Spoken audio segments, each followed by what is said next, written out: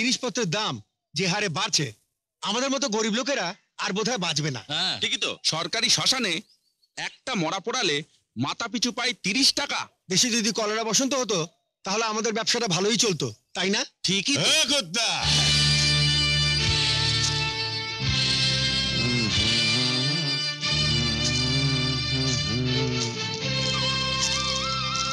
হ্যাঁ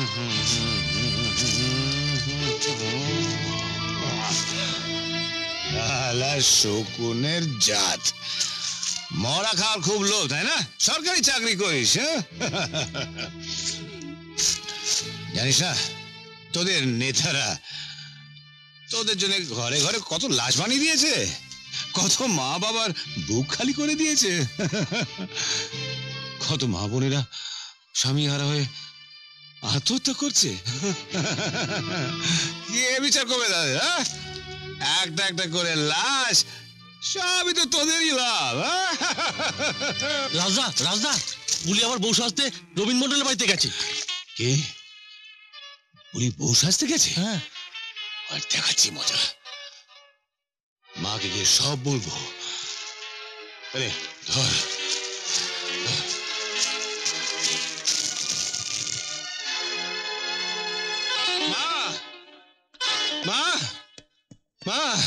এই যে মা, তোমার, তোমার- মেয়েকে সাবধান করে দাও। তাহলে এমন কেলেঙ্কারি হবে যে শেষ পর্যন্ত তোমার সম্মান থাকবে না। মায়ের কাছে নিজের বোনের নালিশ করতে এসেছি। মা, তুমি যাবার সময় বলিকে আমার হাতে তুলে দিয়ে গেছিলে? না না মা, না। আমি আমার নালিশ ফিরিয়ে নিচ্ছি। তোমাকে শাসন করতে হবে না। বলি যা ইচ্ছে করুক। ছোট বোন, বিয়ে হয়ে গেলেই তো পরের বাড়ি চলে যাবে। মা, তোমায় শাসন করতে হবে না। এবার চুলটা দেখান। এবার হাতটা দেখান। হ্যাঁ আমাদের সবকিছু তো পছন্দ হয়েছে। এবার মেয়ের মুখটা দেখি।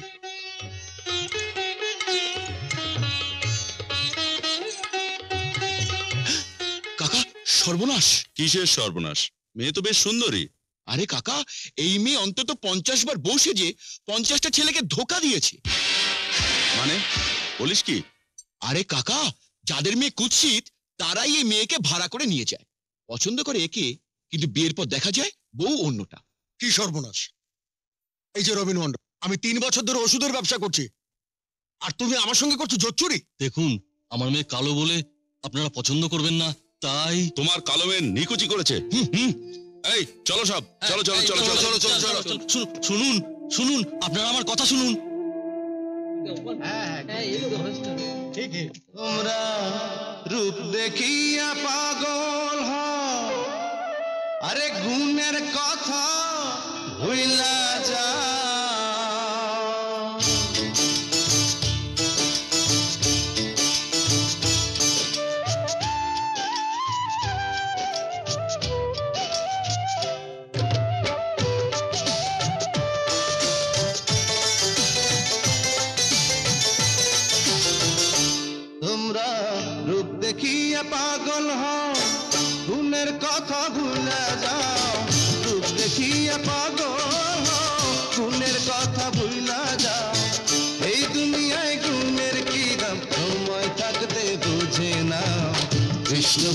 কালো কান ভরে ভাসি শোনো, সবাই বাসো ভালো।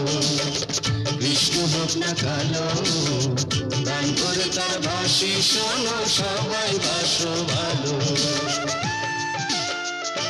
তোমরা রূপ দেখিয়া পাগল হও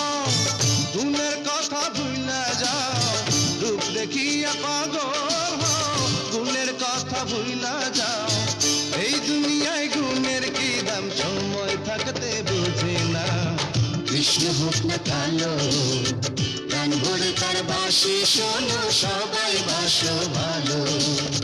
কৃষ্ণ হোক না কালো গান ভরে তার বাসি শোনো, সবাই বাসো ভালো।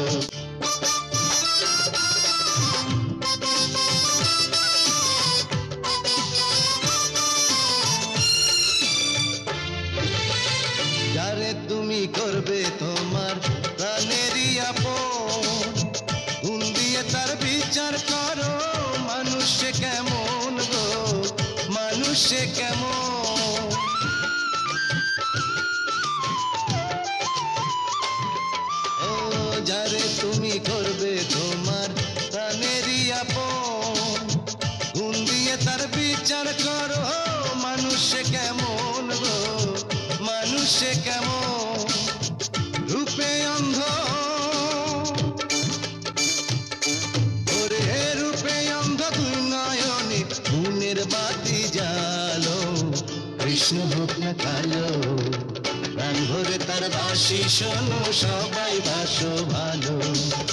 কৃষ্ণ হোক না কালো, প্রাণ তার বাসি শোনো, সবাই বাসো ভালো। তোমরা রূপ দেখিয়া পাগল হও তুনের কথা ভুইলা যাও। রূপ দেখিয়া পাগল হও গুণের কথা ভুইলা যাও।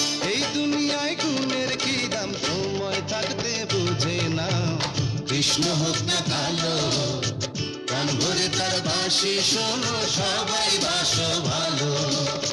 কৃষ্ণ হোক না কালো, প্রাণ ভরে তার বাসি শোনো, সবাই বাসো ভালো।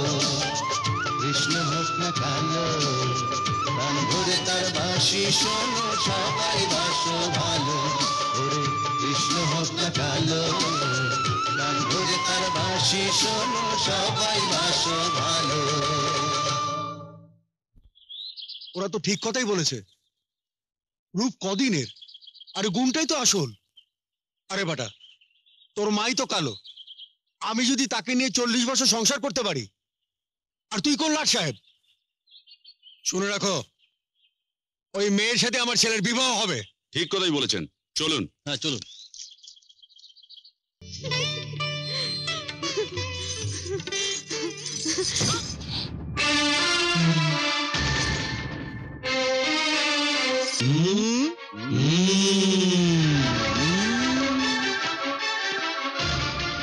এই যে সুরেশ মন্ডল এই জন্যই কি তোমাকে লঞ্চের মালিক সাজিয়ে রেখেছি?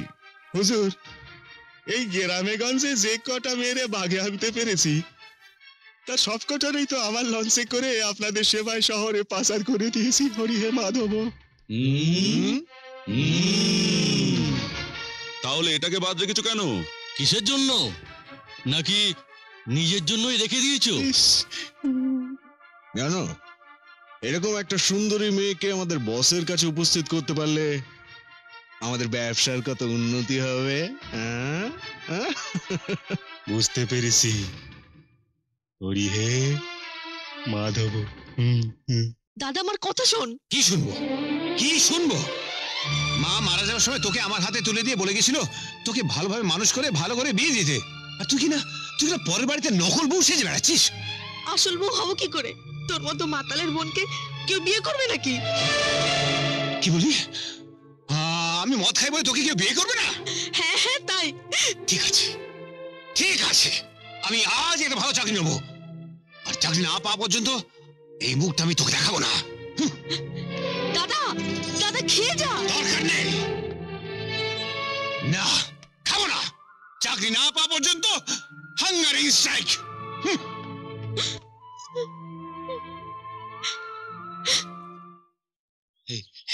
এই যে সুরেশ কাকা। কি ব্যাপার? আপনি আপনার লঞ্চ কোম্পানিতে আমি একটা চাকরি দিন না। তা হঠাৎ? ওই ওই বুলি আমার বোন। বুলি বলল মাতালের বোনকে নাকি কেউ বিয়ে করবে না।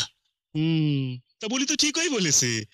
পরিচয় দেবার মতো একটা কিছু না থাকলে কোনো মেয়ের বিয়ে হয় নাকি? তুই আমার গ্রামের ছেলে বিপদে পড়ে এসিস তোর তা না করতে পারি না। আচ্ছা ঠিক আছে। তুই কাল থেকেই আমার লঞ্চেই কাজের লেগে যা। ঠিক আছে ঠিক আছে। নমস্কার। বলি বলি বলি! বলি! চাকরি পেয়ে গেছি। কাঁদছিস কেন? না খেয়ে তো চলে গেলি। আমার খিদে পায় না বুঝি? তুই আমার জন্য না খেয়ে বসে আছিস? আমি তো চাকরির খোঁজে গেছিলাম। কাজ পেয়ে গেছি। এবার এবার আমার লক্ষ্মী বোনের বিয়ে দেবো। না দাদা তোকে ছেড়ে আমি যাব না দাদা। আমি চলে গেলে তোর খুব কষ্ট হবে রে। বল দাদা তুই আমাকে তাড়িয়ে দিবি না? পাগলি বোন। মেয়েদের স্বামীর ঘরে তো নিজের বাড়ি। এই দাদাকে ছেড়ে স্বামীর ঘর তো যেতেই হবে। কিন্তু কিন্তু বিয়ের পর তোর এই দাদাটাকে ভুলে যাবি না তো? দাদা।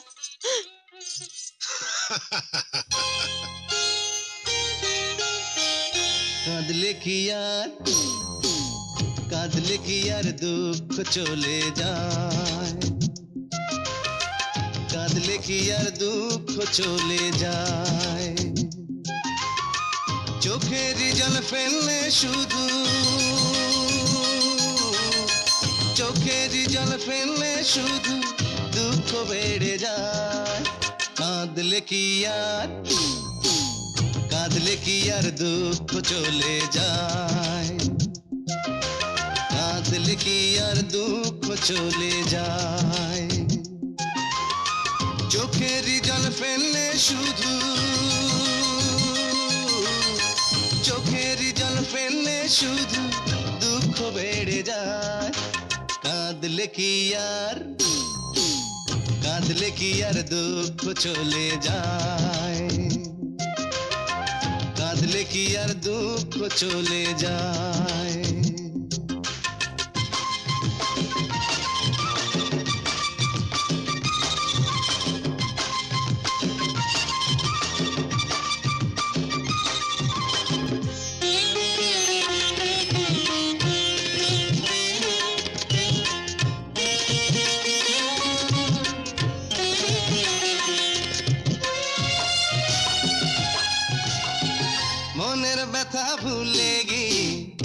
হাসতে শেখো। জীবনটাকে আরও ভালো বাসতে শেখো। মনের ব্যথা ভুলে গিয়ে হাসতে শেখো। জীবনটাকে আরও ভালো বাসতে শেখো। কাটা বনে গন্ধ ঝরে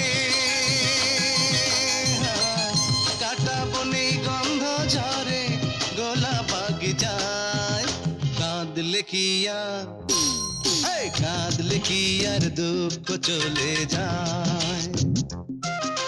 কাঁদ আর দুঃখ চলে যায়।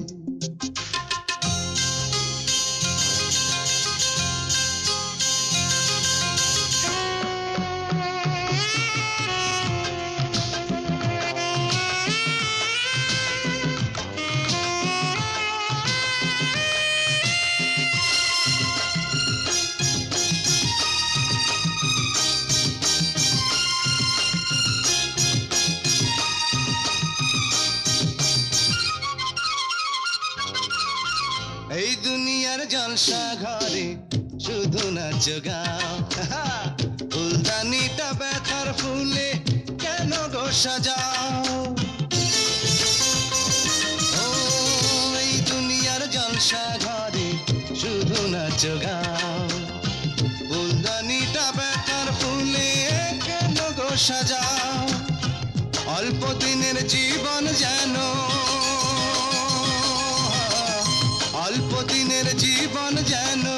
সুখে কেটে যায়।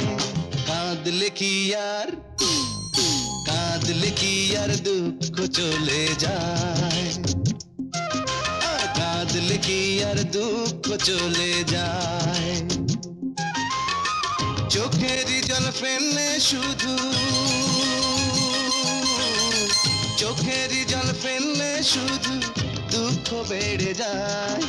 কাঁদলে কি আর কাঁদলে কি আর দুঃখ চলে যায় কাঁদলে কি আর দুঃখ চলে যায়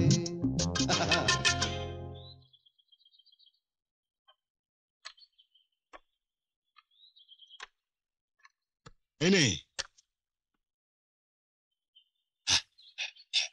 এত টাকা হুম দুই মাসের বেতন অগ্রিম দিলাম ধর ধর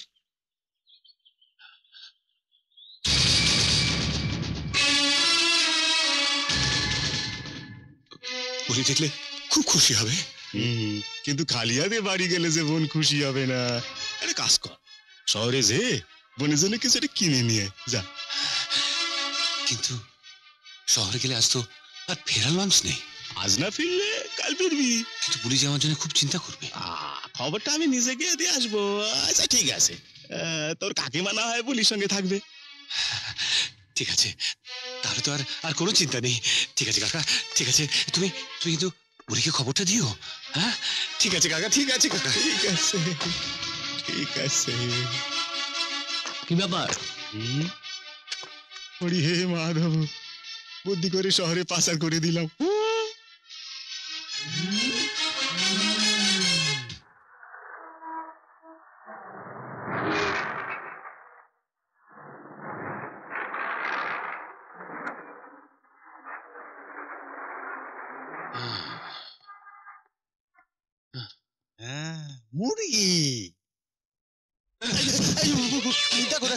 কি করে কি? চোখের মাথা খাইছেন? ভাবছিলাম। কি ভাবছিলেন? ভাবছিলাম এ- এ- এ- এতগুলো এতগুলো বড় বড় দালান কি করে বানালো হ্যাঁ? চিত কইরা বানাইয়া পরে ধাক্কা দিয়ে দাঁড় করা দিছে। বুদ্ধি আছে তো? হ্যাঁ বুদ্ধি আছে।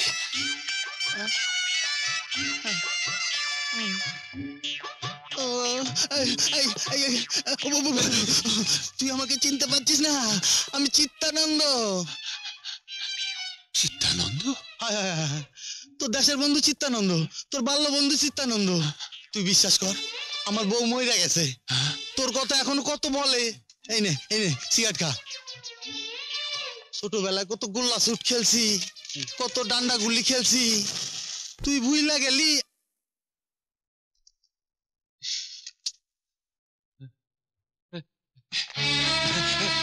এই চিত্ত চিত্ত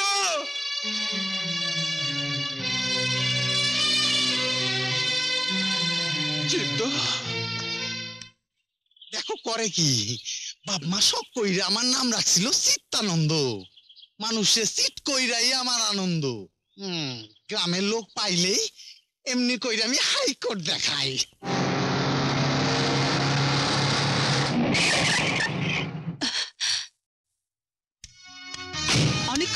করছি আপনারা আমাকে ফলো করছেন কি ব্যাপারটা বলুন তো ব্যাপারটা খুব সহজ আপনাকে আমাদের সঙ্গে যেতে হবে কারণ আপনার বাবার একটা চ্যালেঞ্জের জবাব দিচ্ছি এর থেকে বেশি কিছু জানতে হলে আপনার বাবার কাছ থেকে জেনে নেবেন অবশ্য সেই সুযোগ বোধহয় আপনি আর পাবেন না জানেন আপনাদের সবাইকে আমি অ্যারেস্ট করিয়ে দিতে পারি শুধু অ্যারেস্ট কেন আপনি ফাঁসিতেও ঝোলাতে পারেন ম্যাডাম এই চল এই চল এই, দাদা,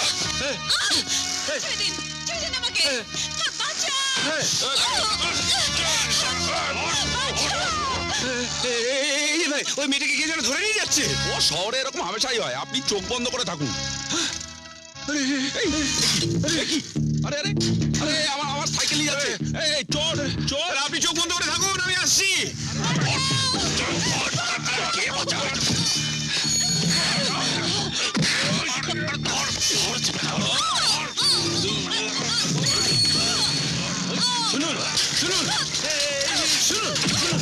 এই যে ভাই মেয়েটাকে কোথায় নিয়ে যাচ্ছেন আপনার? এই, চল ফট। এই কি আমায় মারছেন কেন? তোরা কলকাতা শহরের গুন্ডা। আয় গ্রামের গুন্ডামি কাকে বলে তোদের দেখাচ্ছি।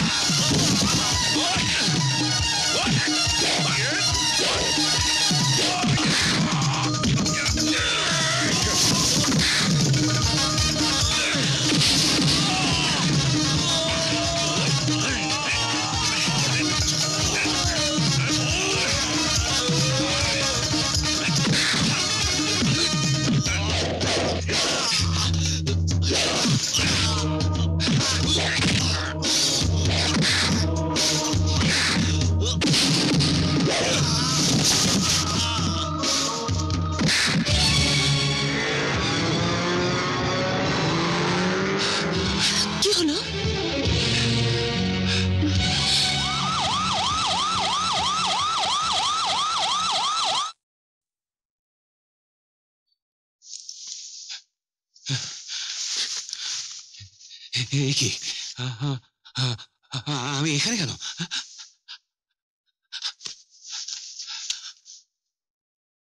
কি খুঁজছেন? আমার পকেটে টাকা ছিল।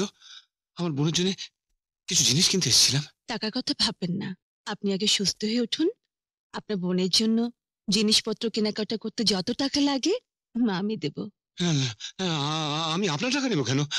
তাহলে তাহলে বুড়ি কিন্তু রাগ করবে। আমি আমি- চলি চলি। আরে আমি শুনুন শুনুন। দাদা অ্যাক্সিডেন্ট করে মারা গেছে? না না আমি বিশ্বাস করি না আমি বিশ্বাস করি না আমি বিশ্বাস করি না। বিশ্বাস না করলেও কথাটাতে সত্য বলি। রাজের জন্য আমারও মায়া হয়। আপনার দুটি পায়ে পড়ি। আমাকে আমার দাদার কাছে নিয়ে চলুন। অবশ্যই যাবে। তার প্রতি আমারও তো একটা কর্তব্য আছে। কারণ সে আমার কর্মচারী ছিল। চলো চলো। হরি হে মাধব।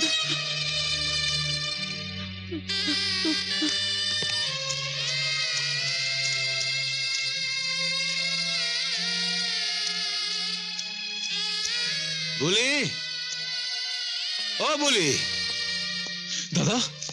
রতন? দাদা তুমি বেঁচে আছো? কেন? কি হয়েছে? সুরেশ কাকা সারা গ্রামে ছড়িয়েছে তুমি নাকি অ্যাক্সিডেন্টে মারা গেছো। বুলিকে বুলিকে বোধহয় সেই নিয়ে গেছে। তবে কি সুরেশ চক্রান্ত করে? দাদা চলো। নদীর ঘাটে গেলে হয়তো এখনও পাওয়া যাবে। চল। হ্যাঁ, চল চল।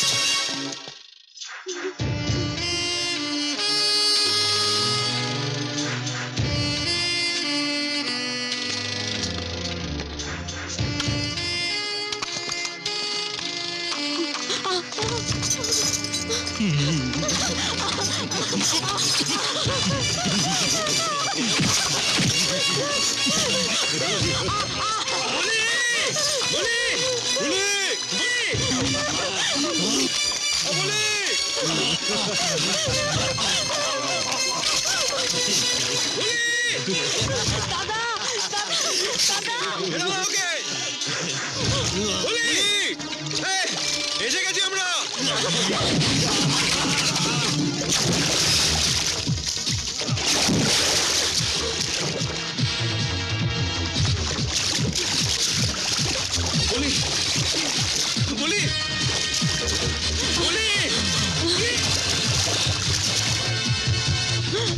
দাদা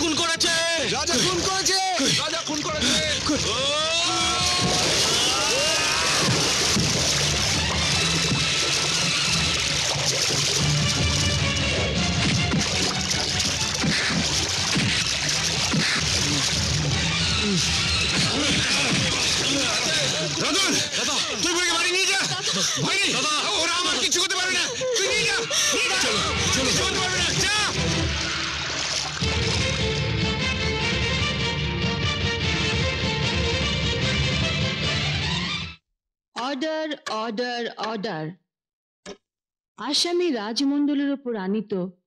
হত্যার অভিযোগ সত্য প্রমাণিত হওয়ায় ভারতীয় দণ্ডবিধির তিনশো দুই ধারা অনুযায়ী তাহাকে যাবজ্জীবন সশ্রম কারাদণ্ড প্রদান করিলাম। আমি খুন করিনি। আমি খুন করিনি, জজ সাহেব। আমি খুন করিনি।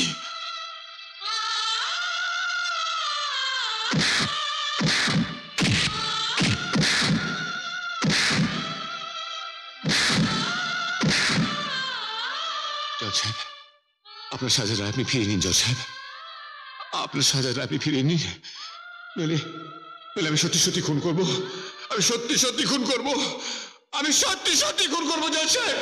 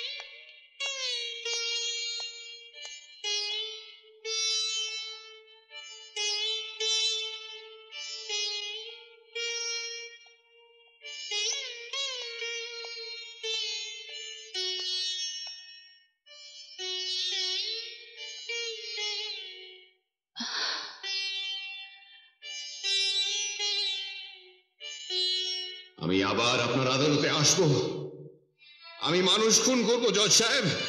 আমি মানুষ খুন করব। জজ সাহেব, আপনার রায় আপনি ফিরিয়ে নিন, জজ সাহেব। আপনার রায় আপনি ফিরিয়ে নিন। নইলে নইলে আমি সত্যি সত্যি খুন করব। আমি সত্যি সত্যি খুন করব। আমি সত্যি সত্যি খুন করব, জজ সাহেব।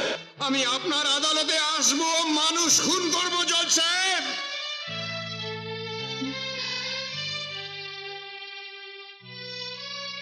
সুনিতা কিরে আজ তোকে এত বিব্রত দেখাচ্ছে? কোর্টে কোনো জটিল কেস ছিল নাকি? তুই সাংবাদিক বলে কোর্টের সব কথা তোকে বলতে হবে। এমন কোন এমার্জেন্সি আছে নাকি? তুই তো জানিস কোর্ট হাসপাতাল এইসব নিয়ে আমি লেখালেখি করে থাকি। জানিস জয়া আজ আমি একটি লোকের শাস্ত্রম কারাদণ্ড দিয়েছি। সাক্ষ্য প্রমাণাদি সবই তার প্রতিকূলে ছিল। লোকটার সরলতা। বারবার আমাকে ভাবতে বাধ্য করছে। হয়তো হয়তো সে নির্দোষ। কিন্তু সেক্ষেত্রে বেনিফিট অফ ডাউট তো আসামেরই পাওয়া উচিত ছিল। ছিল। কিন্তু এতগুলো জলজান্ত প্রমাণ উফ আমি যে কিছুই ভাবতে পারছি না। কিছুই ভাবতে পারছি না। বাবা? এতক্ষণ দাঁড়িয়ে দাঁড়িয়ে তোমাদের কথাই শুনছিলাম। কোর্টটাকে যদি বাড়িতে নিয়ে আসো তাহলে বাড়িটা যাবে কোথায়? জানো বাবা গুন্ডাদের হাত থেকে যে আমাকে রক্ষা করেছিল লোকটি সেই। তোমাকে যারা কিডন্যাপ করেছিল পরক্ষণেই তাদের লাশ রাস্তায় পাওয়া যায়। তাদের যারা খুন করেছিল তাদের প্রতিও তোমার কৃতজ্ঞ থাকা উচিত হুম? অতীতের একটা মহৎ কাজ দিয়ে তো বর্তমানের অপরাধটাকে চাপা দেওয়া যায় না। অপরাধী তার শাস্তি পাবেই। কাঁদিস না রে বলি।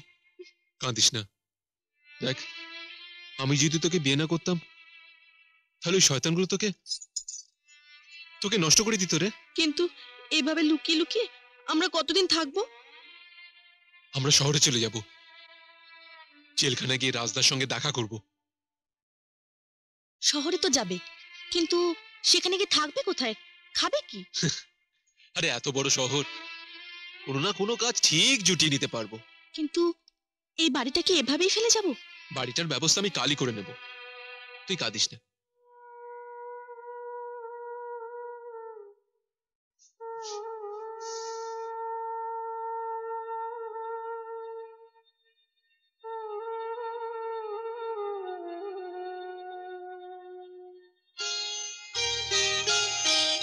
কাঁদলে কি আর?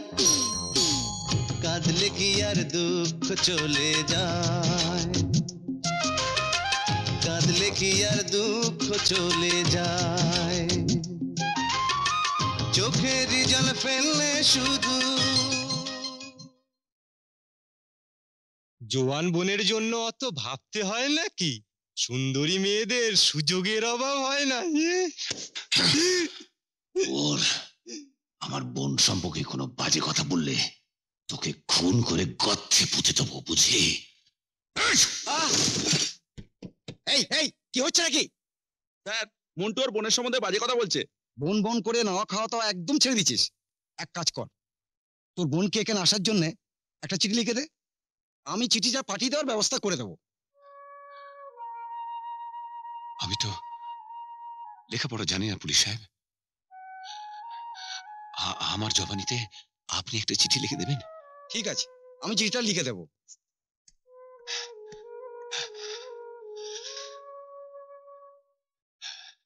গুলিমণ্ডল গুলিমণ্ডল গেল কোথায়? এখন এই চিঠিটা আমি কাকে দিই? কার চিঠি? বুলির দাদা বোধ এই চিঠিটা জেল থেকে পাঠিয়েছে। বলো তো এখন আমি কাকে দিই? চিঠিটা আমাকে দাও। তোমাকে? হ্যাঁ আমি জানি বুলি কোথায় আছে চিঠিটা তো এই নাও।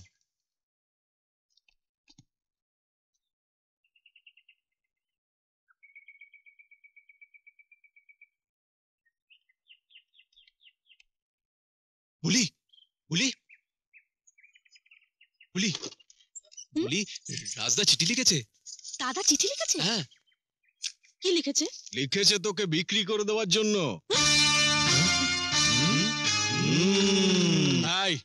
এই খবরদার। আমার বিবাহিত স্ত্রীর সম্বন্ধে একটা বাজে কথা বলে টেনে তোদের জিভ ছিঁড়ে ফেলব। তাহলে তো আর দেরি করা যায় না। বিবাহিত স্ত্রী?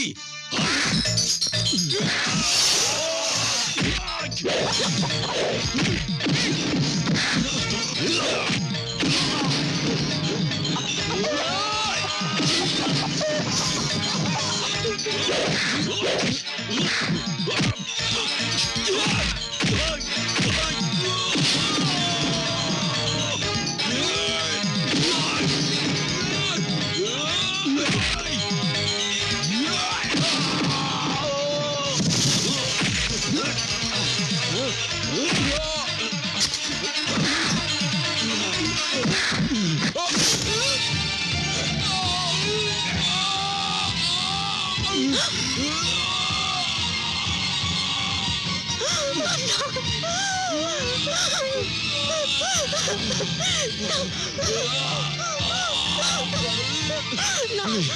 মনে তুই পালিয়ে যা নইলে তোকে বাঁচতে দেবে না যা যা বলছি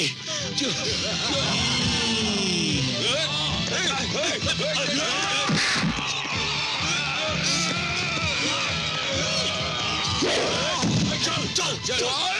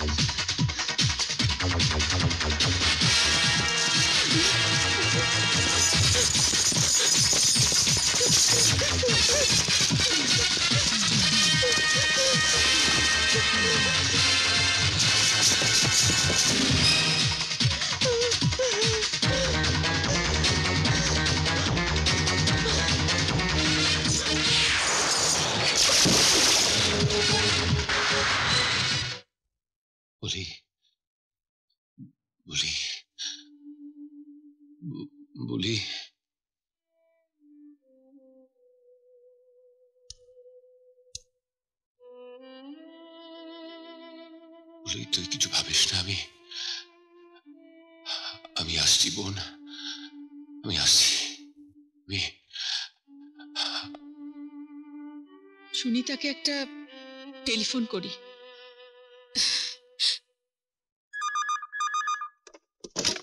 হ্যালো কে জয় বলছিস? শোন হসপিটালে রিপোর্ট নিতে গিয়ে তোর সেই সাজা দেওয়া আসামির সাক্ষাৎ পেলাম। হ্যাঁ। মনে হয় লোকটা বোধহয় আর বাঁচবে না রে। কেন? লোকটা সারাক্ষণই বন বন বলে কাঁদে। জানিস খাওয়া দাওয়া ছেড়ে দিয়েছে। কি আশ্চর্য দেখ তোকে বাঁচাতে গিয়ে রুগী হয়ে এই হাসপাতালেও একদিন এসেছিল। আবার তোরই দেওয়া সাজা ভোগ করতেও আজকে রুগী হয়ে এই হাসপাতালে এসেছে। কিটি সুনিতা কিছু বলছিস না যে? ঠিক আছে আমি দেখছি।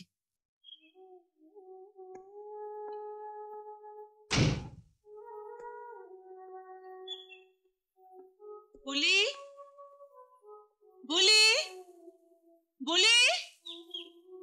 যে ভাই বলতে পারো বুলি কোথায়? কি ব্যাপার? চলে গেল কেন? আপনার কথার উত্তর দিয়ে শেষে কি প্রাণটা হারাবো? কি বলছেন? বুলিকে তিনজন গুন্ডা তুলে নিয়ে গেছে আর শাসিয়ে গেছে।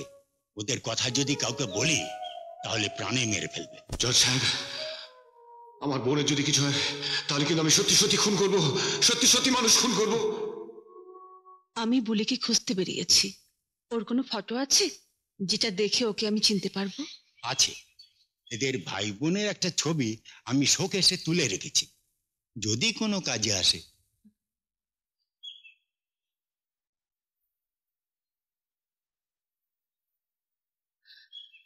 একেবারে খবর জোর খবর জোর খবর।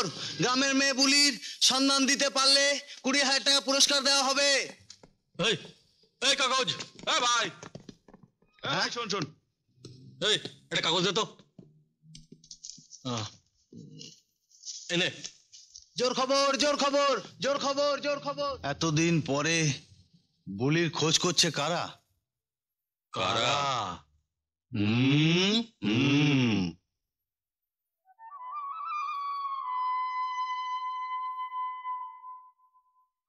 কিরে? পেপারের বিজ্ঞাপনটা কোনো কাজে লাগল? না রে। হ্যাঁ সামান্য পুরস্কারের লোভে ক্রিমিনালরা মেয়েটাকে তোর হাতে তুলে দেবে, এটা আমি আগেও বিশ্বাস করিনি। কিন্তু বেচারা দাদাটাকে বোধহয় আর বাঁচানো যাবে না।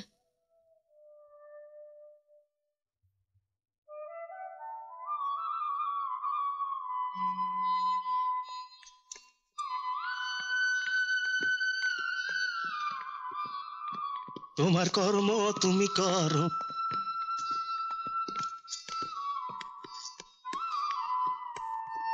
তোমার কর্ম তুমি করো মা সুরেশ কাকা।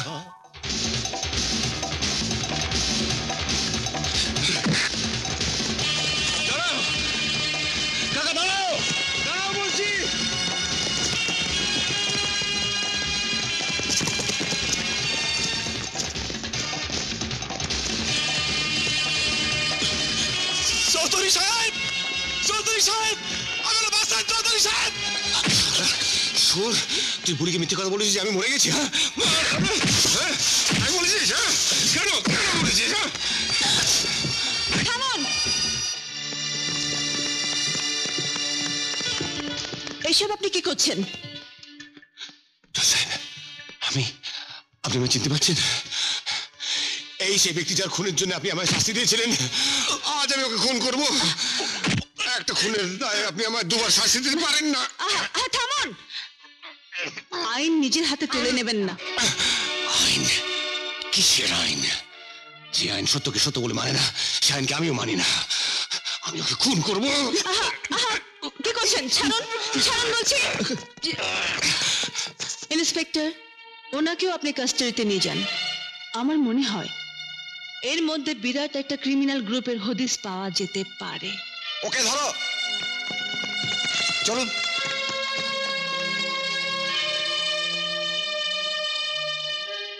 আমি তো কিছুই বুঝতে পারলাম না। It is the proper time to strike এটাই বোধহয় আঘাত করার উপযুক্ত সময়। জয়া তুই তুই পত্রিকার মাধ্যমে একটা জনমত করে তোল। ওর হয়ে কোটি আপিল কর। কিন্তু লোকটাকে নির্দোষ প্রমাণ করতে পারলে কি তুই শেষ রক্ষা করতে পারবি? ভুলে যাচ্ছিস কেন? ওর বোন নেই। ও আবার খুন করবে। আবার আদালতে আসবে। আবার সাজা পাবে। এনিওয়ে আমার কাজ আমি করছি। তুই শুধু এইটুকু কর। দেখিস লোকটা যেন আর খুন না করতে পারে। কি করব? তোরাই তো বলিস অপরাধী হয়ে কেউ জন্মায় না। স্নেহ মায়া মমতা ভালোবাসা এসব পেলে মানুষের মন থেকে অপরাধী মনটা মরে যায়। তাহলে সমাজে অন্তত একজন মানুষকে পাপের পথ থেকে সরিয়ে আনার দায়িত্ব কি আমরা নিতে পারি না?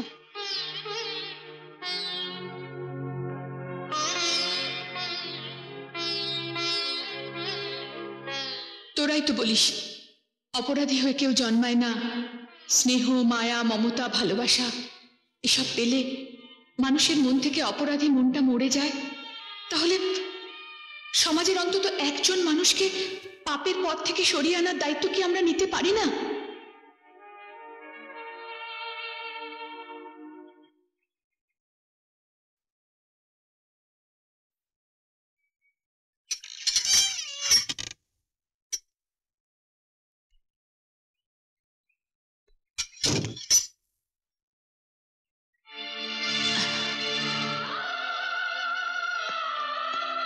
আপনার চেষ্টা আমি মুক্তি পেলাম। আপনাকে যে কি বলে আমি কৃতজ্ঞতা জানাব? নিশ্চয়ই বাড়ি যাবেন। আমার বোন আমার বোন আমার জন্য অপেক্ষা করছে। আমাকে দেখলে বলি আনন্দে বেহুশ হয়ে যাবে। বলিকে তিনজন গুন্ডা তুলে নিয়ে গেছে। সমাজে অন্তত একজন মানুষকে পাপের পথ থেকে সরিয়ে আনার দায়িত্ব কি আমরা নিতে পারি না? আমি চলি জজ সাহেব। শুনুন বুলিকে একটা ভালো ছেলে দেখে বিয়ে দিয়েছি। ও এখন আমেরিকাতে আছে। আমেরিকাতে? সে তো অনেক দূর অনেক পথ। হুম। বলির স্বামীর কাছে অবশ্য আপনার পরিচয় গোপন করেছি। বলেছি ব্যবসায়িক কাজে আপনি বাইরে গেছেন। বলির স্বামী জানে আপনি একজন লেখাপড়া জানা ভদ্রলোক। কিন্তু আমি তো একজন মুখুষ্ক মানুষ। চেষ্টা করুন আপনাকে লেখাপড়া শিখতে হবে। নইলে বুলি জীবনে সুখ হবে না। আপনি কি চান? আপনার কারণে বুলি সুখে সংসার ভেঙে যাক? আমি তা কখনো চাই না। তাহলে আমার সাথে আমার বাড়িতে চলুন। আপনার বাড়িতে? হ্যাঁ আসুন। আসুন।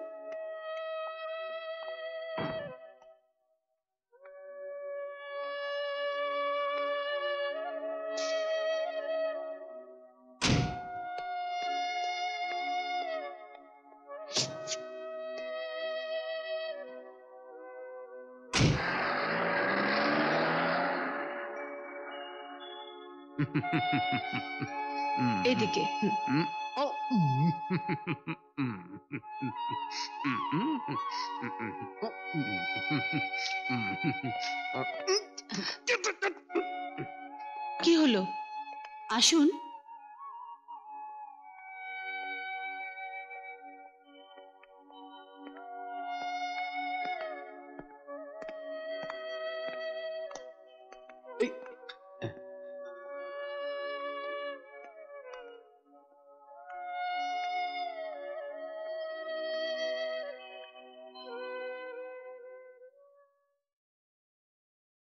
আসুন। এই ঘরে আপনি থাকবেন। ভোলা আমার ঘরে কিছু কাপড় আছে। ওগুলো এনে ওনাকে পরতে দে। এখানে একটা কলিং বেল আছে। কোনো কিছু দরকার হলে বোতামটা টিপবেন। ঠিক আছে তো? দিদিমণি আপনার টেলিফোন। আসছি যা। স্কুইজ মি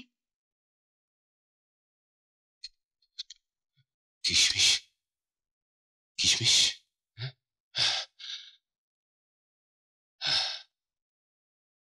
বাহ।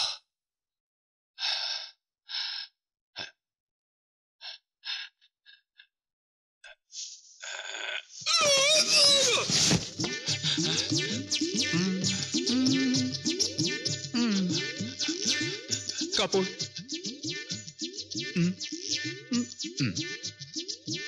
এ কি?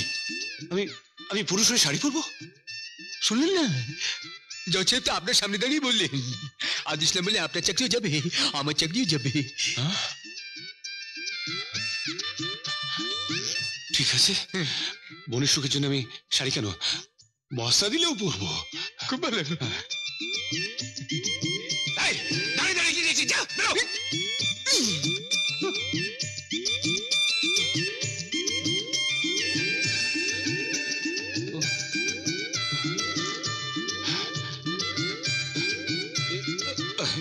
আগুন নিয়ে খেলা করতে গেলে শরীর পুড়ে যায়। আর যারা পড়ে না ধোঁয়ায় তাদের চোখ জ্বালা করে। তুমি আমাকে উপহাস করছ বাবা? হ্যাঁ করছি। সময় এলেই তুমি আমার কথার সত্যতার প্রমাণ পাবে। শহরে এসে যশোরের বাড়িতে শাড়ি পরতে হচ্ছে। শাড়ি শাড়ি তোর এ কি আপনি শাড়ি পরেছেন কেন? আপনি তো বললেন। আমি? আমি আপনাকে শাড়ি পরতে বলেছি। ওই লোকটাই তো বলল। ওই ওই গোপওয়ালাটা? বলল আপনার হুকুম না মানলেও চাকরি যাবে? আপনার কি সাধারণ বুদ্ধিও নেই? মেয়েদের মতন শাড়ি পরেছেন? মানে মানে শুনেছি এ, শহরের মেয়েদের একটু দাপট বেশি থাকে। হুম। অনেক মেয়েদের দেখেছি প্যান্ট শার্ট পরে ঘুরে বেড়াচ্ছে। তাই ভাবলাম পুরুষ মানুষরা হয়তো হয়তো হয়তো হয়তো শাড়ি পরে ঘরে বসে থাকে। ননসেন্স না? কি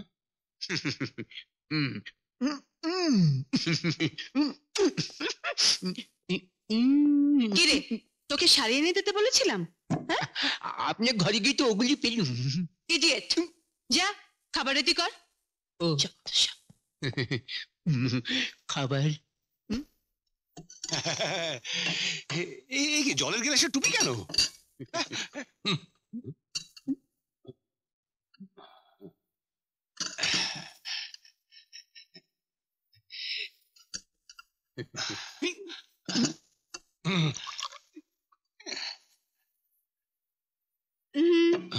হাত দিয়ে নয় চামচ দিয়ে হুম। এই নিন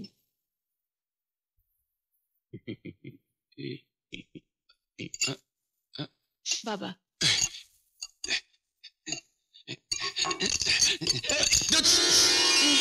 ইডিয়েট দেখলেন দেখলেন চাষ সাহেব আপনার বাবা আমার খাবার সময় বসে আমাকে গা- আমাকে গালাগালি দিলেন? আ- আপনি হেডেড আপনার বাবা হেডেড আপনার দাদু হেডেড আপনার চোদ্দ পুরুষ হেডেড সেটা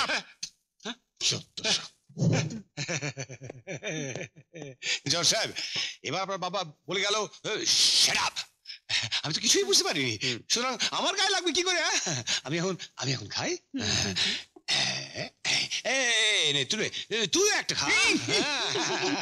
এই, আহ,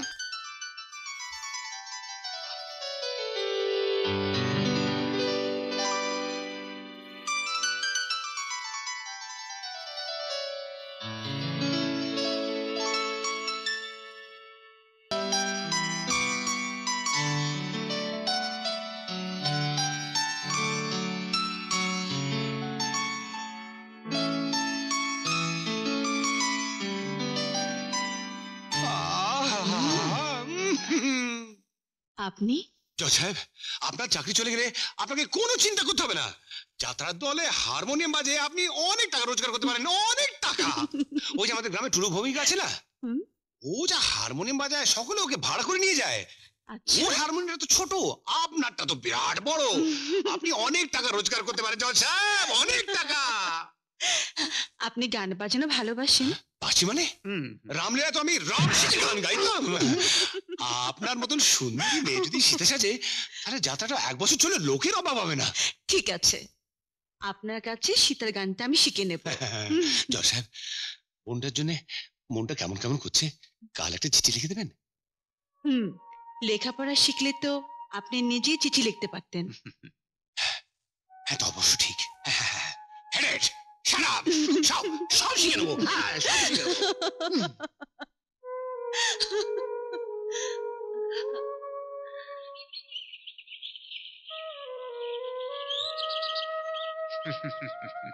হুম। হুম। হুম। সুপ্রভাত শুভ শুভ শুভ। হুম? হুম। হুম? হুম?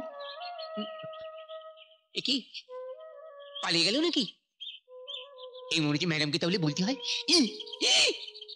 জয়া আমি আসছি। না আমি ম্যাডাম ম্যাডাম কি? আপনি পালিয়ে গেছেন? এই না লোকটা পালিয়ে গেছে। পালিয়ে গেছে? হ্যাঁ। বলিস কি? হ্যাঁ। দেখি তো। এই না। আয়। মরে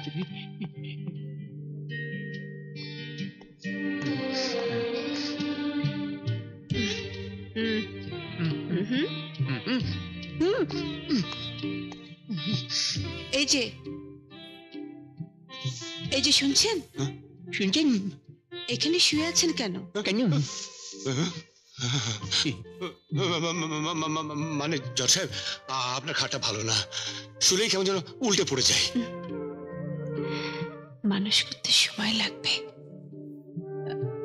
বিকালে আপনাকে পড়াতে মাস্টার আসবে। হুম? জজ সাহেব আমার মাথায় না খালি গোবর। গোবরগুলো পচে ভালো সার হয়ে গেছে। ভোলা। মাস্টার বাবুকে খবর দিয়ে রাখিস। আচ্ছা। আমি এখন বেরোচ্ছি। দুগা দুগা দুগা দুগা দুগা। গোবরগুলো পচে সার হয়ে গেছে। থাক আমি শুয়ে পড়ি। আমার জন্য এক কাপ চা আনবি দুধ ছাড়া। আর একটা পোচ আনবি পোচ ডাবল ডিমের পোচ আর একটা কড়া করে পাউরুটি টোস্ট টোস্ট আর বেশ ভালো করে ভাবা ভাবা। আপনি কে? আমি মাস্টার একটা কড়া করে মাস্টার আনবি। আমি মাস্টার মাস্টার মাস্টার আপনি পড়িতে পারবেন তো? হ্যাঁ, পারবেন? হ্যাঁ। এই পারবেন বলছি। আমার নাম হলো সুজয় রায় ছাত্রছাত্রীদের কি করে বস করতে হয় আমার খুব ভালো জানা আছে। ধরুন ছাত্রের বয়স যদি হয় পাঁচ তখন তাকে দিতে হবে এই চকলেট। আর ছাত্রের বয়স যদি হয় সাত তখন তাকে দিতে হবে খেলনা মানে টয়। আর ছাত্রের বয়স যদি হয় দশ তখন তাকে দিতে হবে এই ঘুড়ি আর এই লাঠাই। আর ছাত্রের বয়স যদি বারো হয় তখন তাকে দিতে হবে সিনেমার টিকিট। আর ছাত্রের বয়স যদি পনেরো হয় তখন তাকে কি দিতে হবে বলুন তো? দুধ দুধ। হলো না। পারলেন না তো? তখন তাকে দিতে হবে গ্রিটিংস কার্ড আচ্ছা ধরুন ছাত্রের বয়স যদি তেত্রিশ হয়। ওই বয়সে আবার ছাত্র হয় নাকি? হয় হয়। কলিযুগে সব হয়। তাছাড়া জজ সাহেবের হুকুম। নমস্কার। নমস্কার। ইনি কে ইনি আপনার ছাত্র প্রবীণ ও হ্যাঁ তা এনাকে বস করতে হলে তো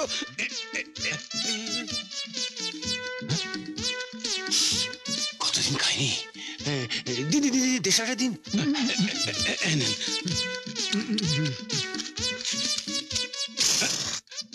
ওরে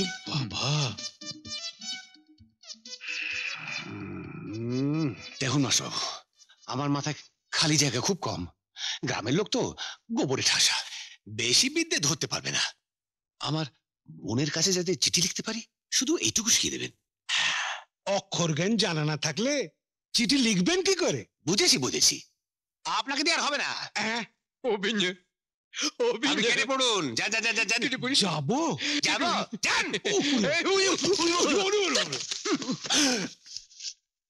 কি হয়েছে মাস্টার বাবু তোর সিগারেট আমার কাছে মাস্টার বাবু আপনার ছাত্রটি খুব বেয়ারা। বেদ ছাড়া বাগে আনতে পারবেন না।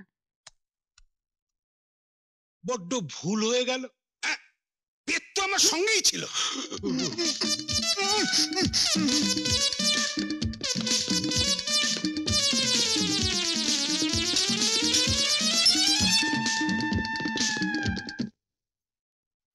কিরে সুনিতা? শুনলাম কোর্ট কাচারি ছেড়ে দিয়ে নাকি বাড়িতেই পাঠশালা খুলে বসেছিস? লোকটার মন থেকে অপরাধীর বোঝা নেমে গেলে শেষটায় তুই না আবার ওকে মন দিয়ে বসিস। তাহলে কিন্তু জজ সাহেব প্রেমে পড়েছে এমন মুখরোচক কথা অনেক শুনতে হবে তোমাকে। যা, কি বাজে বকছিস? জানিস জয়া লোকটাকে আমি চ্যালেঞ্জ হিসেবে গ্রহণ করেছি। আমি প্রমাণ করে দেব। স্নেহ মমতা পেলে মানুষ অন্যায় পথ থেকে সরে আসে। এর জন্য যা করতে হয় আমি করব। তুই যদি এর মধ্যে প্রেমের গন্ধ খুঁজে পাস তাহলে আমার বলার কিছু নেই। দেখিস আবার একটা সাধারণ ঘটনা আবার তোর জীবনে অসাধারণ না হয়ে ওঠে। হলেও ডুবে মরবো না কারণ আমি সাঁতার জানি।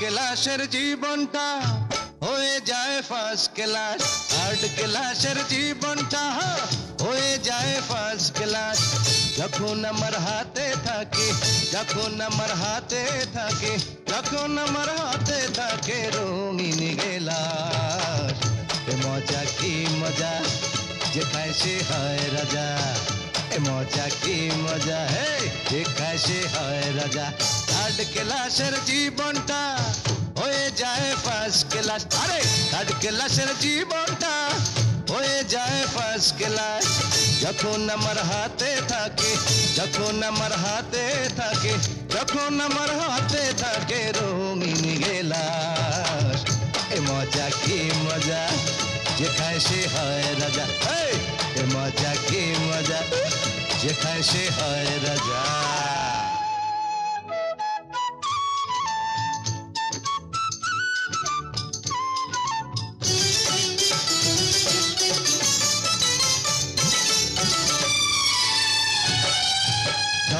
যদি জোটে, কিছু মনের মতো চায় ধানের মোটর গাড়ি আমার দেয়, তখন স্টার্ট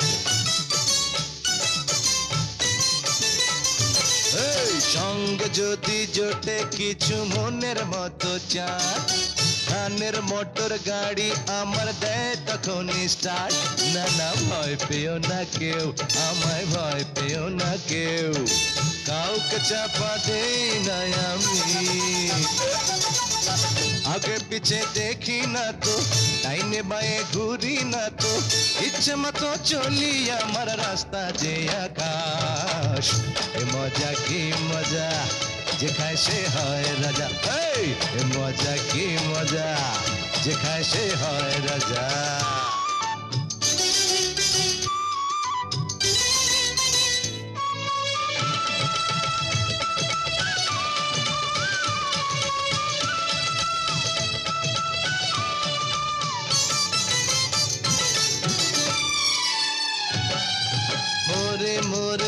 বেঁচে থাকার ইচ্ছে আমার নেই।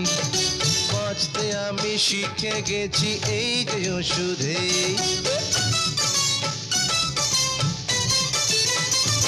এই মোরে মোরে বেঁচে থাকার ইচ্ছে আমার নেই।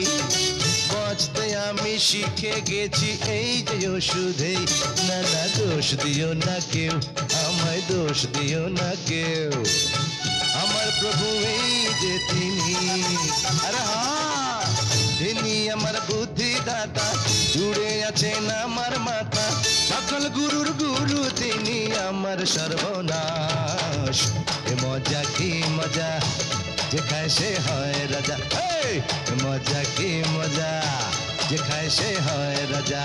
আট ক্লাসের জীবনটা হয়ে যায় পাঁচ ক্লাস আট ক্লাসের জীবনটা হয়ে যায় ফার্স্ট ক্লাস যখন আমার হাতে থাকে, যখন আমার হাতে থাকে, যখন আমার হাতে থাকে রঙিন গেলাস এ মজা কি মজা? যে খায় সে হয় রাজা, এ মজা কি মজা? যে খায় সে হয় রাজা এ মজা কি মজা? যে খায় সে হয় রাজা এ মজা কি মজা? যে খায় সে হয় রাজা এ মজা কি মজা? যে খায় সে হয় রাজা এ মজা কি মজা? যে খায় সে হয় রাজা। সুনিতা সুনিতা। কি হয়েছে বাবা? কোথেকে ধরে নিয়ে ছোট লোকের বাচ্চাকে আমার বাড়িতে আশ্রয় দিয়েছ। এত বড় দুঃসাহস? মদ খেয়ে এসে আমার বাড়িতে রাতে মাতলামি করছে?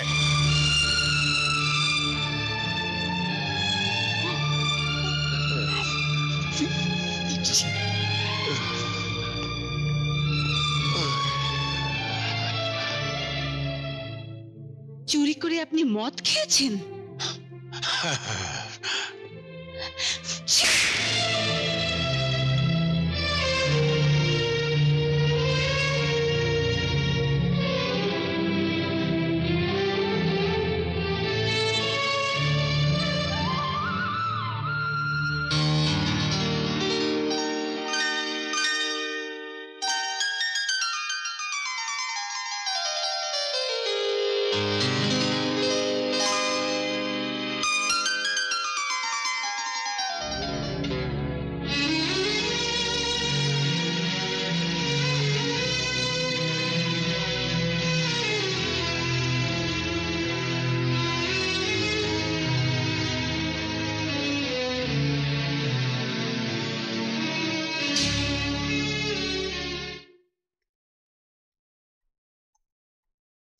দাঁড়ান।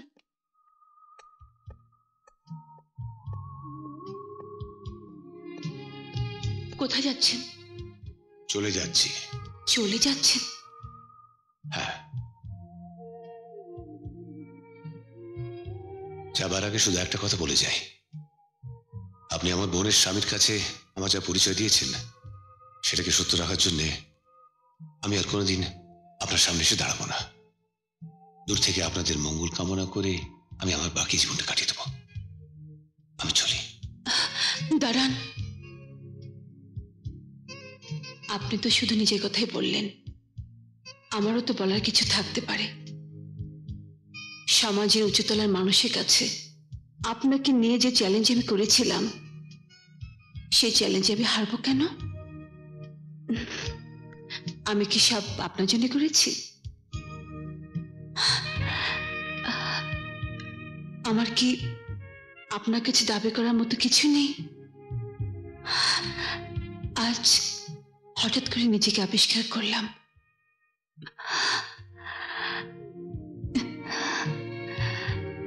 আমি আমি তোমাকে ভালোবাসি।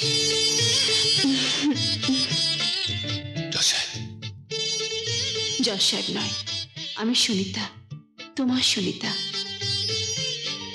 আমি আমি তোমাকে বিয়ে করব। তোমাকে বিয়ে করে আমি প্রমাণ করতে চাই। তোমাকে আমি করুণা করিনি। ভালোবেসে ভালোবেসে তোমাকে আমি আপন করে পেতে চেয়েছি। আপন করে পেতে চেয়েছি।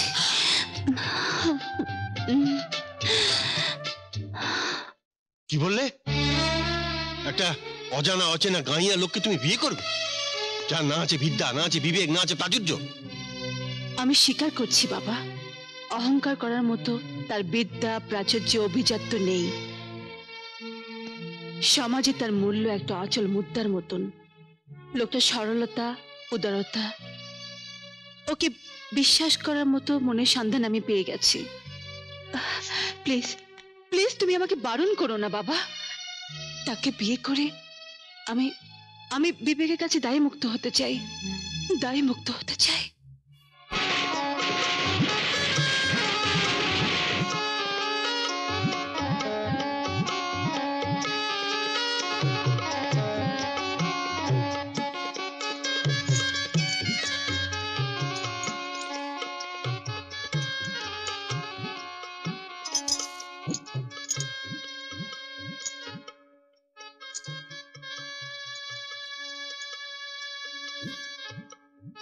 কি হলো?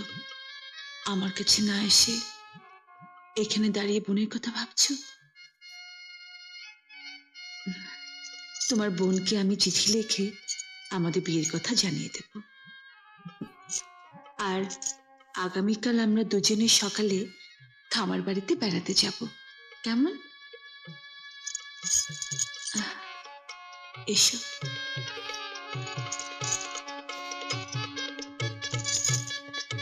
বসো তোমার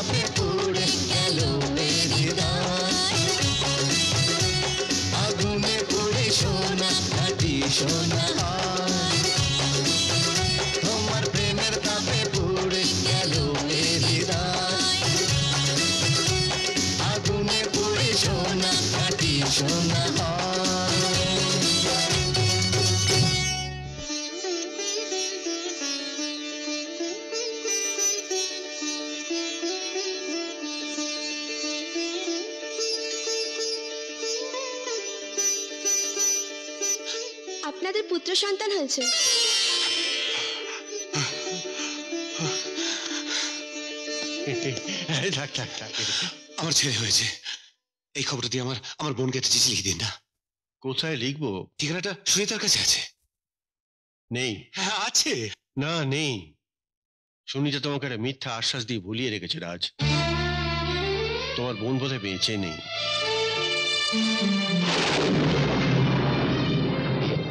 কি বলছেন আপনি? ও এত বড় মিথ্যে কথা আমায় বলতে পারি না? সুনিতা সুনিতা সুনিতা আপনি এখন ভেতরে যেতে পারবেন না।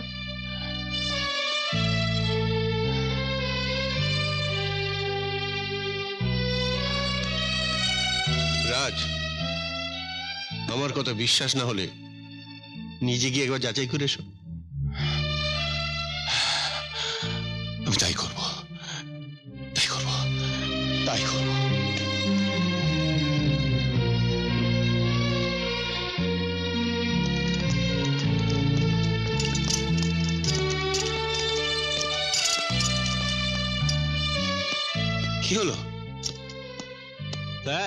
একটু গলাটা ভিজিয়ে আসি। শিগগিরি করো। আচ্ছা।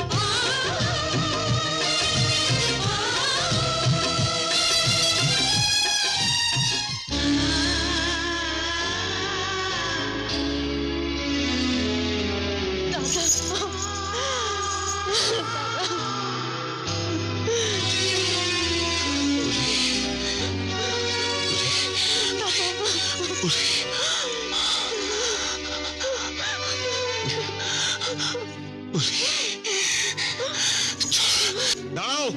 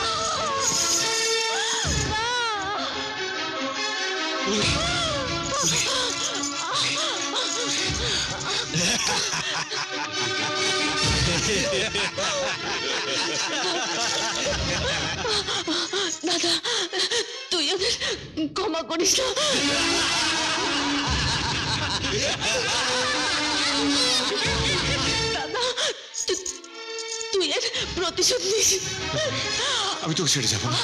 আমি তোকে মরতে দেবো না।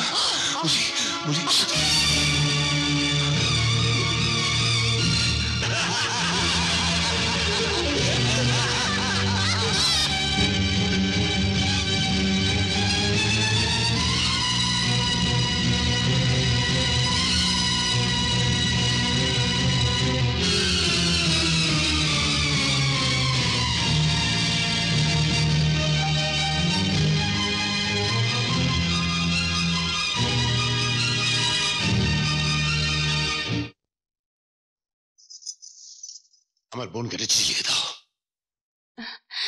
নিশ্চয়ই দেব। তুমি তোর ঠিকানা জানো। অবশ্যই জানি। না তুমি জানো না। কোনো কোনোদিনও জানতে না। এখন তার ঠিকানা এখন তার ঠিকানা শ্মশানে। কি বলছো তুমি? আমার সঙ্গে চলো। আসুন।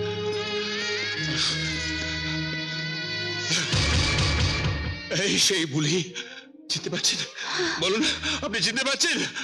হ্যাঁ হ্যাঁ এই আমার বোন। যাকে আপনি শিক্ষিত ছেলের সঙ্গে বিয়ে দিয়েছিলেন যাকে আপনি প্রতি সপ্তাহে চিঠি লিখতেন।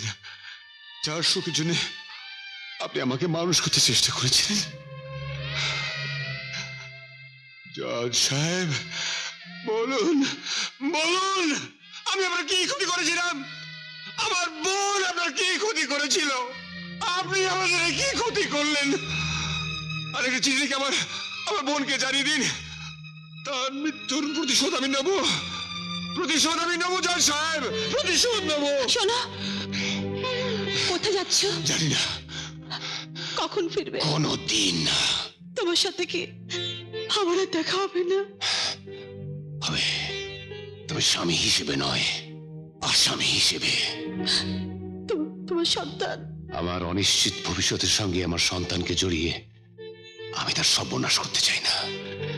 এই ভালো, পৃথিবীতে আমার কেউ নেই।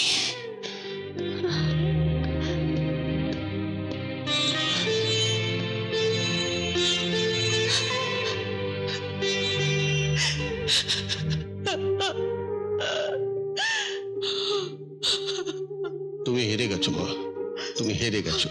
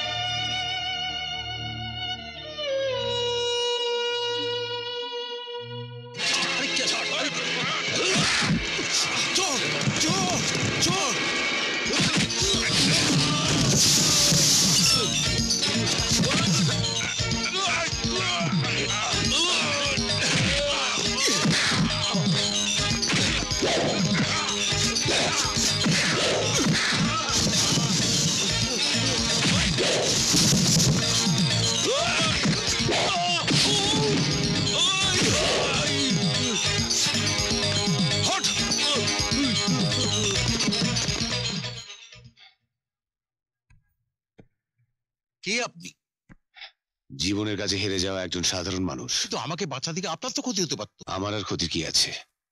বোনকে হারিয়েছি সংসার ভেঙেছে। নিন আমি চলি স্যার। এই যে শুনুন কোথায় যাচ্ছেন? প্রতিশোধ নিতে ওদের খুঁজে বার করতে। কাদের? যারা আমার বোনকে খুন করেছে। যারা খুন করে হজম করতে পারে তারা বিত্তশালী লোক। ওদের মোকাবেলা করতে হলে আপনাকেও বিত্তশালী হতে হবে। এই ব্রিফকেস ভর্তি টাকা আছে। এগুলো তো গুন্ডারা নিয়ে যাচ্ছিল। হয়তো আমাকে খুনও করতে পারত। কিন্তু আপনি আমাকে বাঁচিয়েছেন। এগুলো আপনার। আপনি এগুলো নিয়ে যান। আমি আপনার টাকা নেব কেন? মনে করুন না। সৎ মানুষের পুরস্কার। আমি কারোর দয়া নিই না। না না। দয়া নয়। ভাবুন না। আপনি লটারি পেয়েছেন? ভাগে লটারিতে যে হেরে গেছে জীবনের কাছে যে হেরে গেছে তার টাকার কোনো প্রয়োজন নেই। কিন্তু আমি চাই আপনি আর কখনো জীবনের কাছে হারবেন না। কখনো না। শুনুন। আপনি আর জীবনের কাছে হারবেন না। আপনি আর জীবনের কাছে হারবেন না। আপনি আর জীবনের কাছে হারবেন না।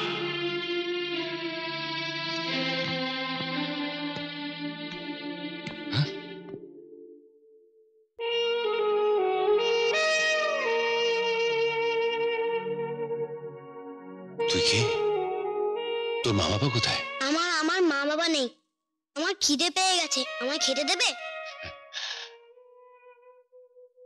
ওরও কেউ নেই। আয় আমার সাথে। তুই আজ যা খেতে চাইবি, আমি তোকে সব খাওয়াবো। আজকে আজ থেকে তুই আমার মেয়ে। আজ থেকে তুই আমার মেয়ে।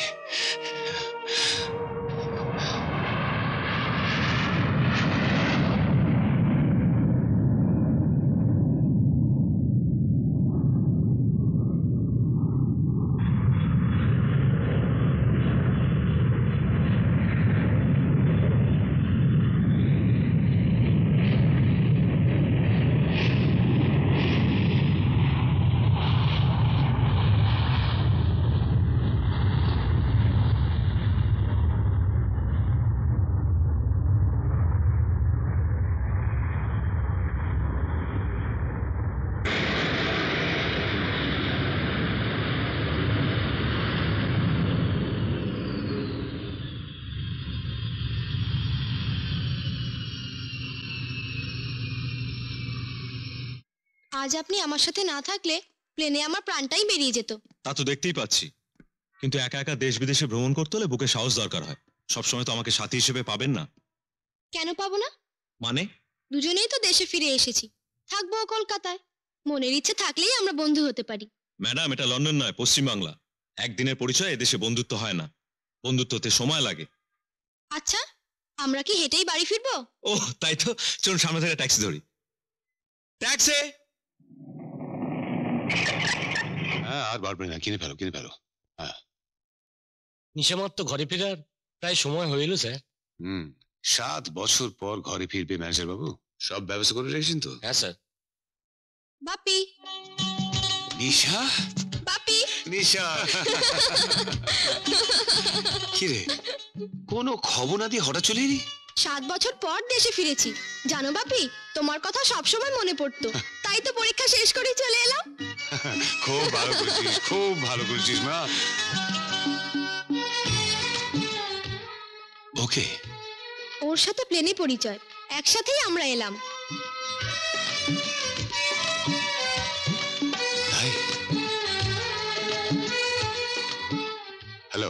টু মিট ইউ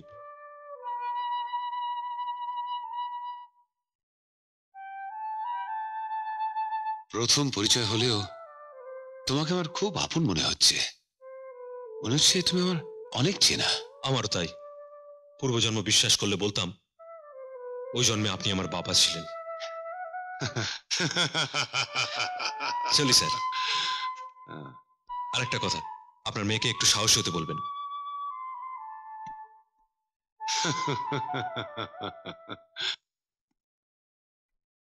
মা মা মা কি রে খোকা? খবর না দিয়ে চলে এলি? আর একটু হলেই তো বেখবর হয়ে যাচ্ছিলাম। সে কি কথা? হ্যাঁ মা মহা দুর্যোগে পড়েছিলাম। মরতে মরতে বেঁচে গেলাম। ভয় পাসনি তো? অসম্ভব! আরে আমার দাদু ভাই বিলেতে স্কাউট ক্লাবের ফুটবল প্লেয়ার ও ভয় পাবে হ্যাঁ? কোনো ভয় নেই। উপরে যাও উপরে যাও। আমার দাদু ভাইয়ের সঙ্গে প্রাইভেট কথা আছে। দাদু ভাই ইস্ট বেঙ্গল আগে তুই কেন এলি? ইস্ট বেঙ্গলের বাচ্চা? ডাকলেন তো। ও ডাকলাম নাকি? আগে ওই মাঠে ময়দানে না হয় ইস্ট বেঙ্গল মোহনবাগান। তাহলে বাড়িতেও সব আনেন কেন? মোহনবাগান। মোহনবাগানই তো। মোহনবাগান? এই যে মোহনবাগান। এই যে। এসে গেছিস? শোন। মোহনবাগানের সেক্রেটারিকে ফোন করে বল যে এই বছরে আমার দাদু ভাই মোহনবাগানে ফুটবল খেলবে। হ্যাঁ, হ্যাঁ। বুঝলি?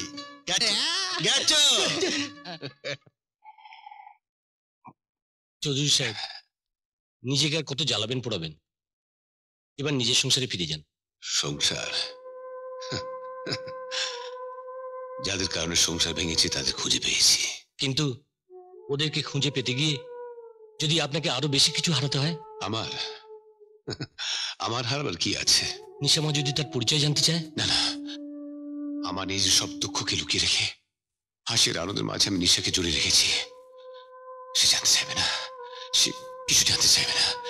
কিছু জানতে চাইবে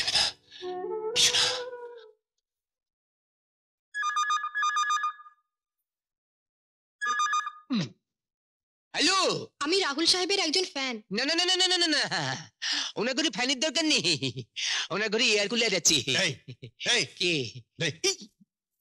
কে? বলছি ফ্যান হ্যালো? আমি রাহুলকে চাইছি। হ্যাঁ আমি হলো সেক্রেটারি কথা বলছি। বলুন আপনার জন্য কি করতে পারি? আমি রাহুলের সঙ্গে দেখা করতে চাই। বাহ এটা খুব সোজা কাজ। আপনি তাজা দেখে একটা গোলাপ ফুল কিনে নিন হ্যাঁ?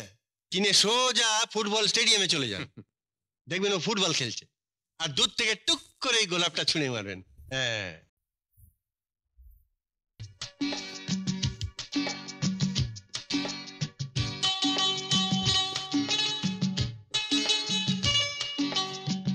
আপনার জন্য এটা আমার উপহার। এটা গ্রহণ করে আমাকে ধন্য করুন। গ্রহণ করলাম। এবার যাও এখান থেকে। আমি প্র্যাকটিস করছি। ইস্ট বেঙ্গল আমার একটু জল দাও তো। কি ব্যাপার দাদু ভাই হ্যাঁ? আর ধকলটা একটু বেশি হয়েছে মনে হচ্ছে। খোকা? কি মা?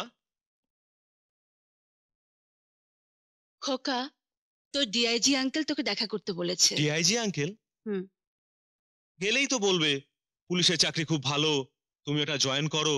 তোমার মা একজন আইন বিশ্বাসী মহিলা দেশের কাজে তোমাদের মতো ইয়াং ছেলেরা যদি এগিয়ে না আসে ইত্যাদি ইত্যাদি। আরে না না এই তো সবেমাত্র বিলেত থেকে ফিরলো। এরই মধ্যে তুমি ওকে কাজে লাগাবার জন্য অস্থির হয়ে উঠছো কেন? দেখো না দাদু। একটা তো কিছু করতে হবে বাবা। হ্যাঁ?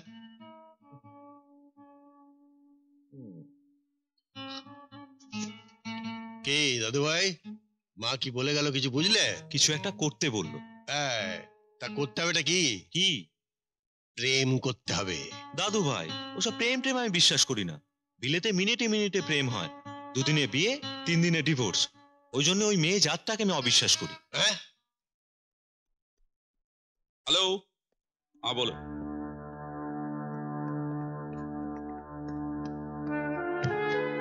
আপনি কি কাউকে খুঁজছেন? হ্যাঁ খুঁজছি। মাঠে ময়দান হোটেল রেস্টুরেন্ট এয়ারপোর্টে সব জায়গায় খুঁজে বেড়াচ্ছি। তিনটে লোককে আমার প্রয়োজন। নইলে আমার ভেতরের আগুনটা নিবে না। তুমি এখানে বসো আমি চা নিয়ে আসি না চা লাগবে না। তুমিও বসো দুজনে কথা বলি। তোমার বাবা বাড়িতে নেই? না বাবা তো এই সময় বাড়িতে থাকে না। জানো রাহুল জন্মের পর মাকে দেখিনি। মনেও পড়ে না। নিজেকে খুব একা মনে হয়। দুঃখ করো না। আমিও তো কোনোদিনও আমার বাবাকে দেখিনি। মা কখনো বাবার কথা কিছু বলেন। আমি এখন যাই। দাদু আমার জন্য না খেয়ে বসে থাকবে।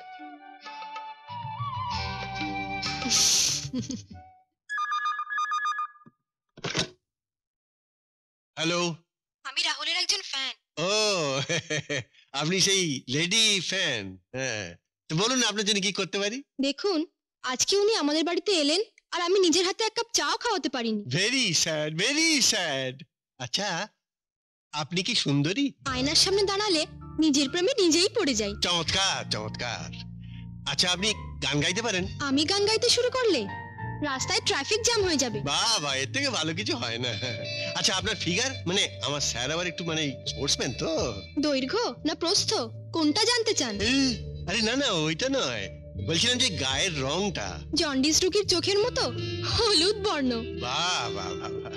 তাহলে তো আপনি স্যারের ফ্যান নন রেগুলেটর আপনি চারটের সময় বনবিতানে চলে যাবেন আমি স্যারকে ওখানে পাঠিয়ে দেবো।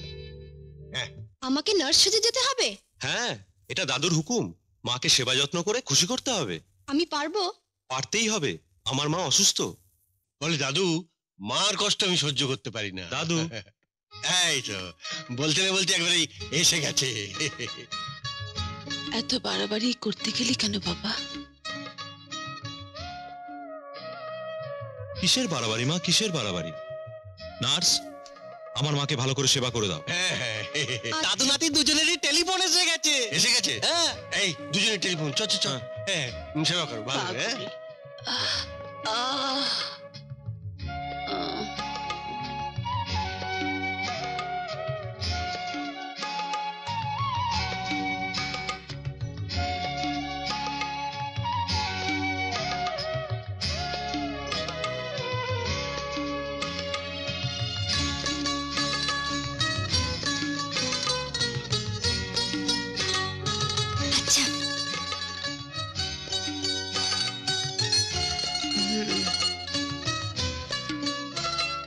খোকা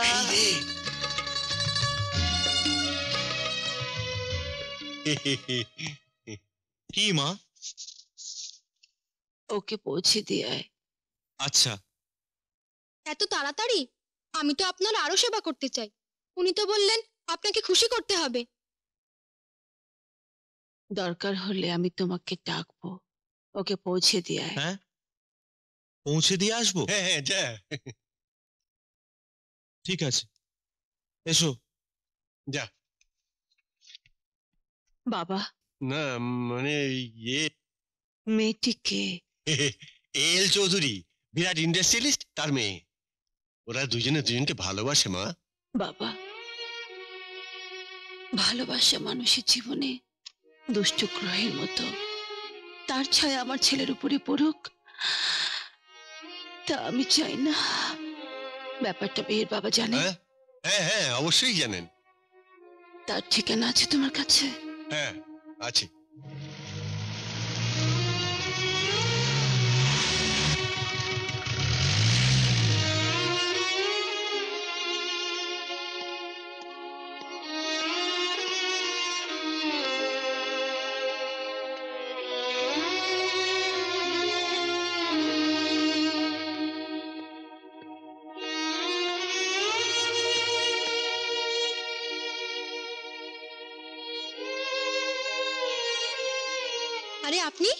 বসুন আমার কোনো দোষ নেই।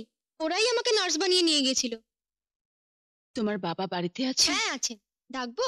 ডাকি?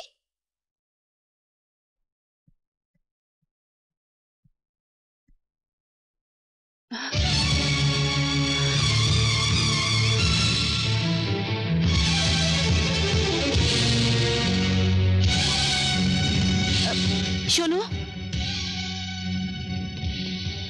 ওই ছবিটা কার? আমার বাবার। বাবা? তোমার বাবার নাম কি রাজমন্ডল আগে ছিল। এখন সবাই তাকে এল চৌধুরী নামে চেনে।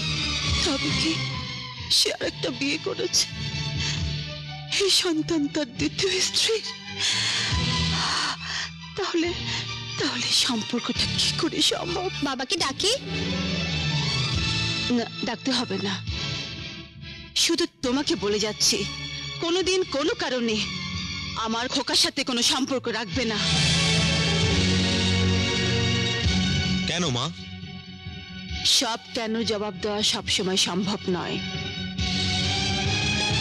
ওই মেয়েটিকে তুমি দেখেছ চিনেছো ভালোবেসেছো? সব কিছু ভুলে যেতে হবে। জন্মের পর বাবাকে দেখিনি। বাবা মা উভয়ের অস্তিত্বই তোমার মাঝে অনুভব করেছি। এ প্রত্যাখ্যানকে মেনে নেওয়ার আগে আমি জানতে চাই মা। তোমার কাছে কোনো কিছু জানার অধিকার আমার আছে কি নেই? আছে। যতটুকু আমি তোমাকে বলব যতটুকু আমার পক্ষে বলা সম্ভব এর বেশি কিছু নয়। মা তুমি আদেশ করলে নির্বিঘ্নে এই প্রাণটাকে আমি ত্যাগ করতে পারি। পৃথিবীর সব চাওয়া থেকে নিজেকে বঞ্চিত করতে পারি। দোহাই লাগে মা। দোহাই লাগে। এই আদেশ তুমি তুলে নাও মা। এই আদেশ তুমি তুলে নাও। খোকা তোমার ডিআইজি আঙ্কেল আবার টেলিফোন করেছিল। আমি চাই তুমি পুলিশ চাকরিতে জয়েন করো।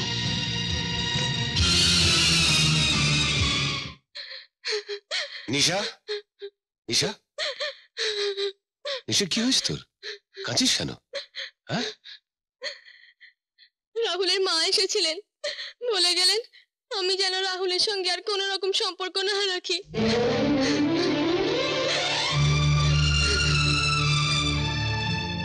কি চান তিনি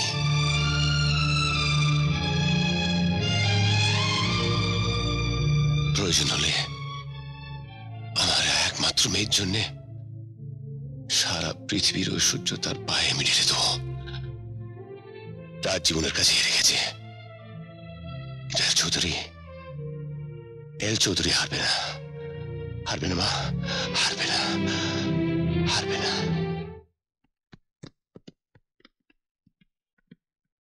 এটা এল চৌধুরীর ঠিকানা। ওকে কনভিন্স করতে পারলেই ওর শিফট ক্লিয়ারেন্সের পুরো কাজটাই আমরা পেয়ে যাব। Take it okay take care goodbye see you bye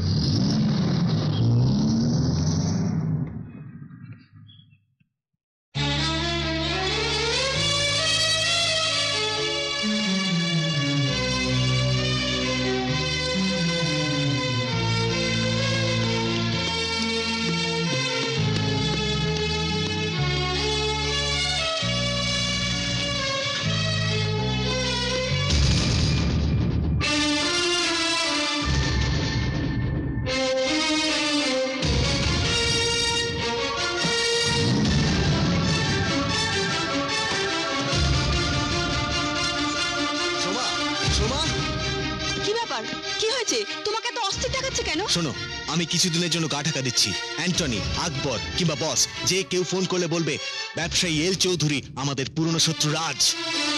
ওরা যেন সাবধান হয়ে যায়। আমি চললাম। সাবধানে থেকো। যেখানেই থাকো আমাকে জানাবে।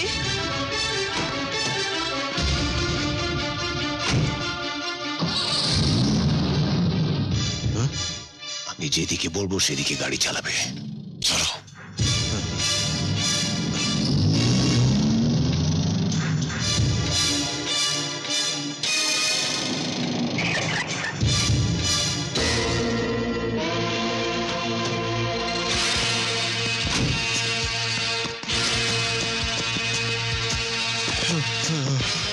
সেই জায়গা যেখানে শুয়ে আছে আমার বোন। তোদের কামনার আগুন যাকে পুড়িয়ে মেরেছে তোদের পিস্তলের গুলি যার বুক ভেদ করে গেছে। আমার বোনের রক্তাক্ত দেহের আত্মা কুড়িটি বছর চিৎকার করে বলছে দাদা আমার প্রতিশোধ চাই প্রতিশোধ চাই প্রতিশোধ চাই। হ্যাঁ, এই তিনটে চিনা আমি তোদের জন্য সাজিয়ে রেখেছি। সংসার, সন্তান, সুখ, শান্তি, সব ছেড়ে দিয়ে আমি কুড়িটি বছর কুকুরের মতন আমি ঘুরে বেড়েছি তোদের খোঁজে। এই চিতায় তোকে শোতে হবে। শুয়ে তোকে আমার বোনের কাছে ক্ষমা চাইতে হবে। আরাম ঘর শ্মশানে কেউ আসে লাশ হয়ে, কেউ আসে আগুন দিতে। আজ তুই এসেছিস। লাশ হতে আর আমি আমি এসেছি তোকে আগুন দিতে। শো বেটা আমাকে ক্ষমা করে দিন আমাকে ক্ষমা করে দিন আমাকে ক্ষমা করে দিন আমাকে ক্ষমা করে দিন। দাদা তুই ওদের ক্ষমা করিস না। দাদা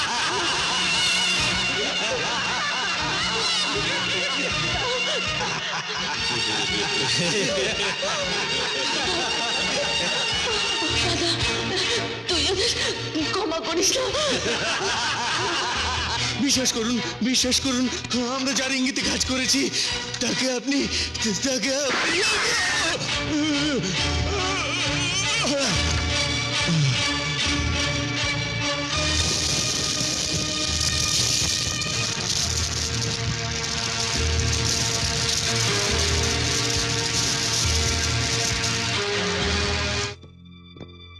কে এই লটারি চৌধুরী? আগে নাম ছিল রাজমন্ডল লটারি পেয়ে বড় হওয়ার সাথে সাথে নাম পরিবর্তন করে নাম হয়েছে লটারি চৌধুরী। লটারি চৌধুরী অমর রায়কে হত্যা করেছে। এর সন্দেহ করার কারণ আমাদের সাথে ব্যবসা করতে চেয়েছিল। কিন্তু অসৎ চরিত্রের জন্য আমরা নিইনি আর তার ফলেই আক্রোশ। দেন দেয়ার ইজ এ মিস্ট্রি চল। এসো এসো রাহুল বসুন। অমর রায় হত্যার তদন্তের দায়িত্ব আমি তোমাকেই দিতে চাই। Yes sir lottery Chowdhury I mean L চৌধুরীর গতিবিধির উপর লক্ষ্য রেখো। জানো বাবা কি ভয়ঙ্কর হত্যাকাণ্ড? শহরের বিশিষ্ট ব্যবসায়ী অমর রায়কে মধুপুর শ্মশানে নিয়ে গিয়ে গুলি করে হত্যা করা হয়েছে। এটাকে হত্যা না বলে তার প্রাপ্য শাস্তিও বলতে পারো। কি বললে? না কিছু না মা। যাও তোমার বান্ধবীরা সব উপরে অপেক্ষা করছে। যাও।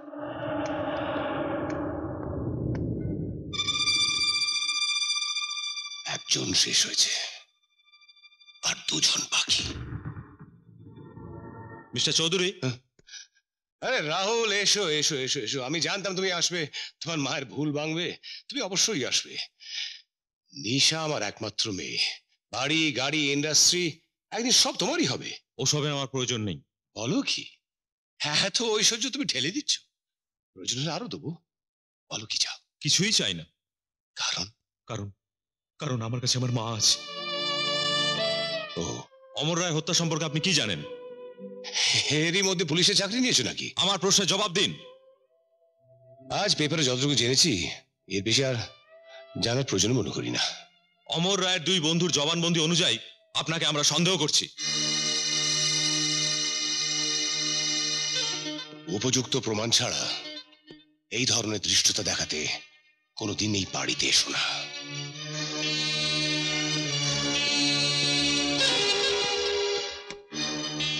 নিশার সব দায়িত্ব এখন আপনার। শেষ রক্ষা করতে পারবেন তো? কি আর হবে? জীবন থাকলেই তো মৃত্যুর ভয়। একটা লাশের আবার মৃত্যুর ভয় কি?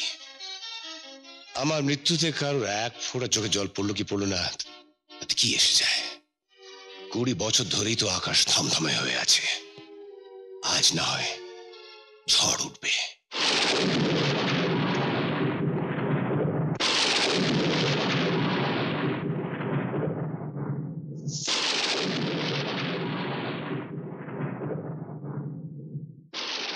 জজ সাহেব আমি মুখ্য সূক্ষ্ম মানুষ। কি বলতে কি বলে ফেলি, ক্ষমা করবেন। আপনি তো জীবনে কিছুই পেলেন না।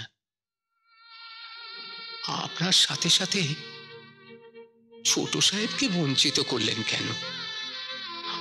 ওদের ভালোবাসাকে স্বীকৃতি দিলে কি এমন ক্ষতি হতো? বাবার মুখ তো কোনোদিন দেখেনি। ওর বাবা মা দুটোই আপনি। আপনার কাছ থেকে যদি আঘাত পায় তাহলে ও আশ্রয় কোথায় পাবে? তুই যা। ও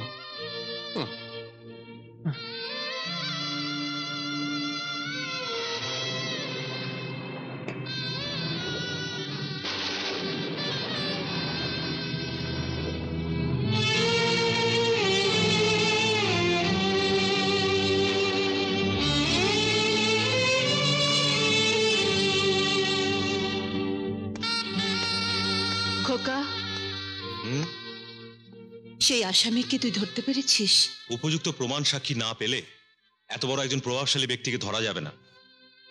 আমি আশীর্বাদ করছি তুই ওকে ধরতে পারবি। চাকরিতে তোর উন্নতি হবে।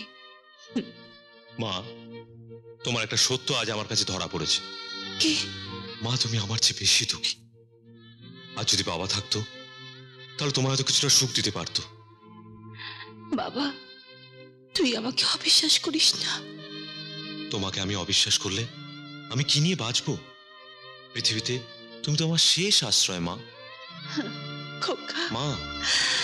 খোকা রে। কিছু ভাববেন না। পুলিশ আপনাদের নিরাপত্তার ব্যবস্থা করবে। তাহলে স্যার ওই এল চৌধুরীকে অ্যারেস্ট করুন। পুলিশ চট করে এল চৌধুরীর মতো একজন শিল্পপতিকে অ্যারেস্ট করতে পারে না। খুনের উপযুক্ত প্রমাণাদি পেলেই তারপরে। প্রমাণ আপনি পেতে পেতে তো আমাদেরই শেষ করে দেবে স্যার। অমরায় তো গেছে। এবার এবার আমাদের পালা স্যার। হ্যাঁ।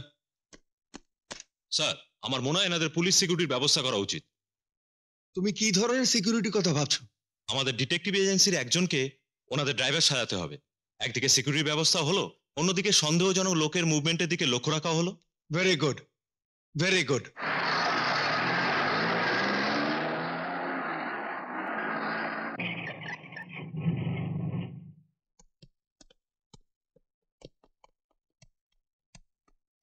আপনি? ও আচ্ছা আপনাকে সিকিউরিটি হিসেবে পাঠানো হয়েছে? হ্যাঁ। ওই বাসটার এল চৌধুরীকে যদি শেষ করে দেওয়া যেত তাহলে আপনাদের এই ঝামেলা পোয়াতে হতো না। এল চৌধুরী এখন কোথায় আছে আমি জানি স্যার। কোথায়? তোর সামনে।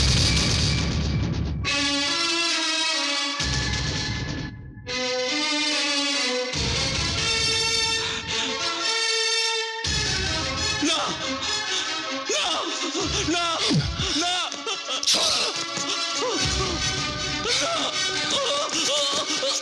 আমার বোনের চিতার পাশে। তোর বিশ্বস্ত বন্ধু অমর রায় আমার বোনের কাছে ক্ষমা চাইছে। তোকেও ক্ষমা চাইতে হবে। কেন? কেন? কিসের জন্য? কিসের জন্য আমার ফুলের মতন নিষ্পাপ বোনকে বাঁচে দিলি না আমার জীবনটাকে কেন তোরা এলোমেলো করে দিলি হ্যাঁ? কেন? প্লিজ আপনি আমাকে ক্ষমা করে দিন। আমরা তো আর নিজের ইচ্ছে কিছু করিনি। না ক্ষমা নেই। ক্ষমা নেই। পাপির কোনো ক্ষমা নেই। আমার আমার বোনকে তোরা ক্ষমা করেছিলি। দাদা!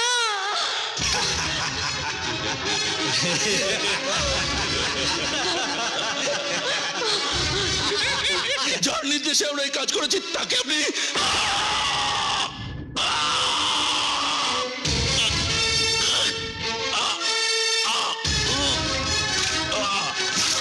কি আকবরকেও খুন করা হয়েছে হ্যাঁ স্যার স্যার আকবরকে খুন করা হয়েছে স্যার স্যার স্যার এখন আমার পালা স্যার এল চৌধুরীকে আজই পুলিশ কাস্টাডিতে নিয়ে আসার ব্যবস্থা করা হচ্ছে ওই এল চৌধুরীকে অ্যারেস্ট করে আপনি আমাকে বাঁচান স্যার হ্যালো হ্যালো হ্যালো কথা বলছেন না কেন?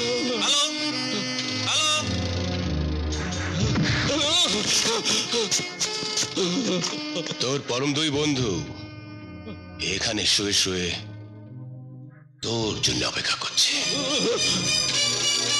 দ্বিতীয় চিতাটা তোর। তুই এখন পৃথিবী ছেড়ে চলে যাবি অ্যান্টনি? আমার বোনের কাছে ক্ষমা চাইতে। নইলে আমার বোন আমার বোনের আত্মার শান্তি পাবে না। আমাকে আমাকে ক্ষমা করে দিন স্যার। আমাকে আমাকে মেরে কোনো লাভ নেই। আমাকে আমাকে ক্ষমা করে দিন স্যার। আমি অন্যায় তুই প্রতিশোধ নিস দাদা তুই ওদের ক্ষমা করিস না দাদা। তুই এর প্রতিশোধ নিস আসল আসল মানুষ হচ্ছে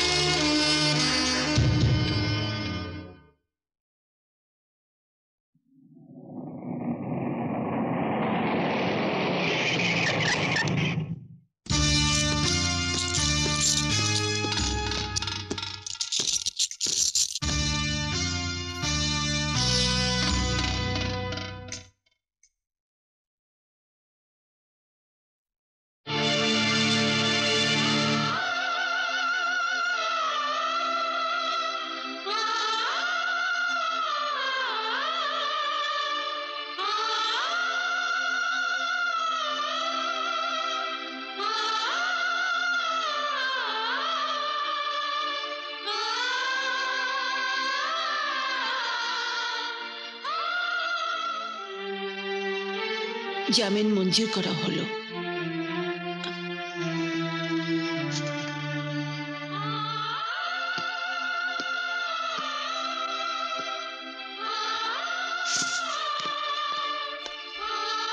তুমি তাই কি করে জামিন দিলে মা? This is not court I know this is not court এটা বাড়ি। এটা তোমার বাড়ি এটা আমার বাড়ি। আমার গায়ে পুলিশের পোশাক। তোমার সামনে আইনের প্রশাসন। আমি শুধু মা হিসেবে প্রশ্ন করছি কি সেই রহস্য? যার কারণে কাঠ গোড়ায় দাঁড়িয়ে থাকা ওই লোকটার দিকে তাকিয়ে তুমি চমকে উঠেছিলে? এ তো সেই ব্যক্তি যাকে ধরার জন্য তুমি আমাকে আশীর্বাদ করেছিলে। এ তো সেই ব্যক্তি তোমারই আদেশে যার সঙ্গে সমস্ত সম্পর্ক ছিন্ন করেছিলাম। বলো মা জবাব দাও মা জবাব দাও। খোকা তোর দৃষ্টতা সীমা ছাড়িয়ে যাচ্ছে। সত্যকে এড়িয়ে গেলে সত্য মিথ্যে হয়ে যায় না মা। খোকা। ওই জজের চেয়ারে বসে আইনের বাইরে গিয়ে কারও প্রতি অনুকম্পা করার এতটুকু অধিকার তোমার নেই। এর পরেও যদি দুর্বলতা তোমাকে গ্রাস করে, তাহলে বলব ওই চেয়ারের মর্যাদা তুমি রাখুনি।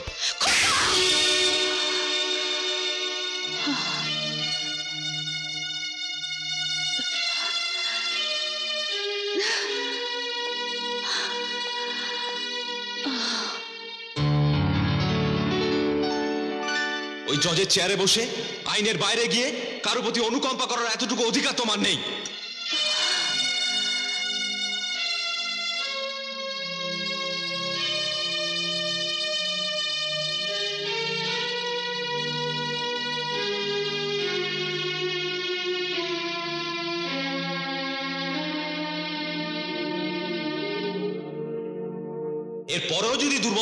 গ্রাস করে তাহলে বলব ওই চেয়ারের মর্যাদা তুমি রাখুন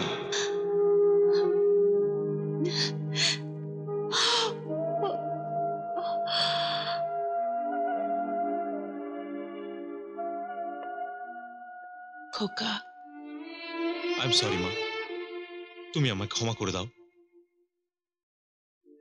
তুই ঠিকই বলেছিস বাবা।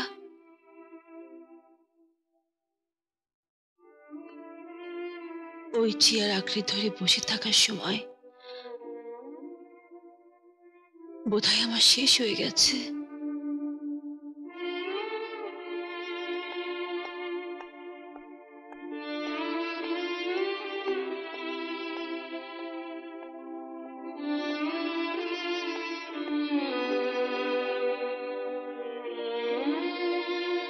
আপনার যা খুশি ভাবুন, যা খুশি লিখুন আমার কিছু যায় না।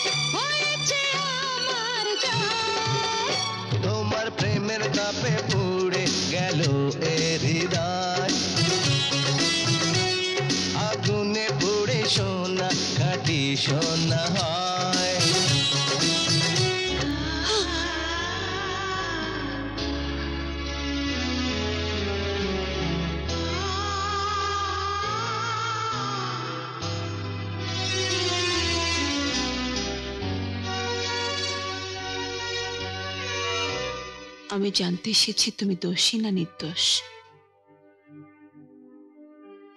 আমি জানতে এসেছি তুমি দোষী না নির্দোষ?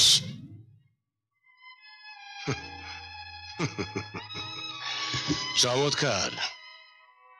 জজ সাহেব, আসামির বাড়িতে জানতে এসছে আসামি দোষী না নির্দোষ? কুড়ি বছর আগে আপনার আদালতে দাঁড়িয়ে বলেছিলাম, আমি নির্দোষ আমি নির্দোষ আমি নির্দোষ। আপনি আমাকে ক্ষমা করে দিয়েছিলেন। আইন বদলে গেছে। আদালত বদলে গেছে। সাক্ষীরা মিথ্যে সাক্ষী দেওয়া ভুলে গেছে। আমার যা বলার আমি আদালতে বলব। বিচারে যদি আমার ফাঁসি হয়, আমি আস্তে আস্তে মরবো। আমি চাই না আমার মৃত্যুর পর করুণা করে কেউ আমার মৃত্যুর জন্য এক ফোঁটা চোখের জল ফেলুক। আপনি যান। চলে যান।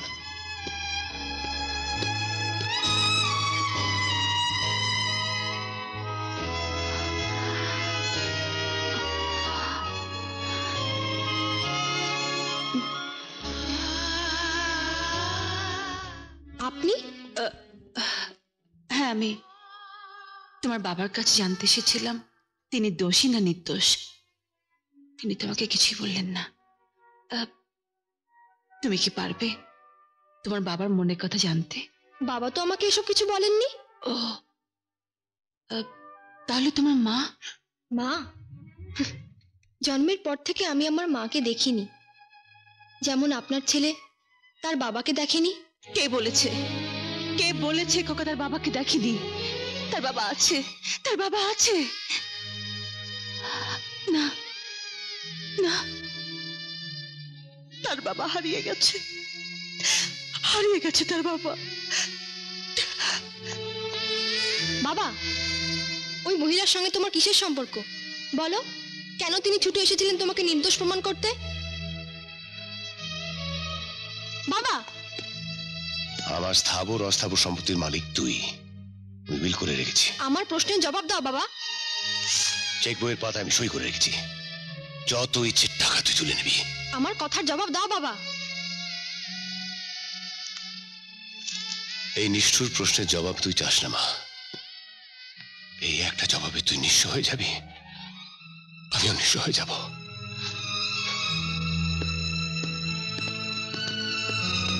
শাহবাবু নিশা সব প্রশ্নের জবাব চায়। আমি দিতে পারব না। আমি পারব না।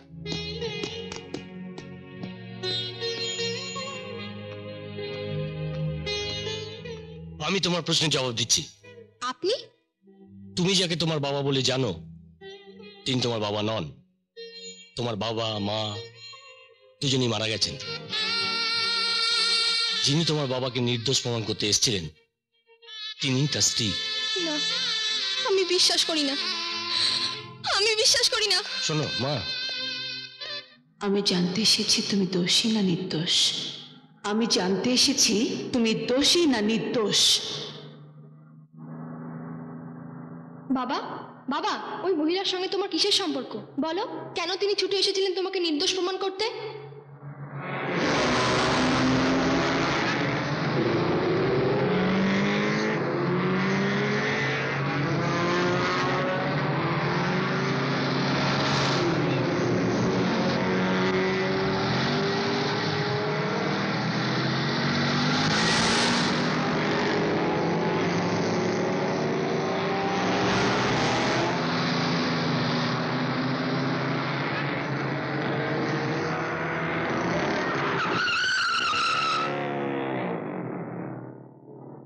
আপনি কি বলতে পারেন? আপনার স্বামীকে কে খুন করতে পারে? না। এল চৌধুরীর সাথে আপনার স্বামীর কি কোনো ব্যবসায়িক যোগাযোগ ছিল? না।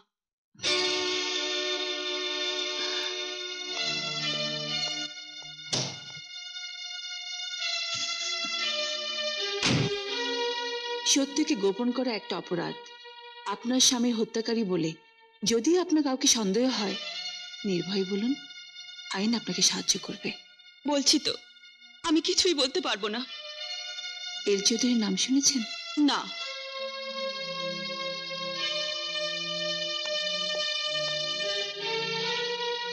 কি বললেন? এল চৌধুরী আপনার স্বামীর হত্যাকারী নন তাহলে তাহলে লোকটি কে? দোহাই আপনার। আপনি চুপ করে থাকবেন না। আমি আপনাকে নিরাপত্তার আশ্বাস দিচ্ছি। প্রকৃত খুনিকে খুঁজে বের করার জন্য প্লিজ আপনি আমাকে সাহায্য করুন। আপনার বাবাকে বাড়িতে গিয়ে জিজ্ঞেস করুন। বাবা? তুমি কি আমাকে সন্দেহ করছ? হ্যাঁ করছি। শুধু তুমি কেন? পৃথিবীর সব লোককে আজ আমার সন্দেহ করতে ইচ্ছে করছে।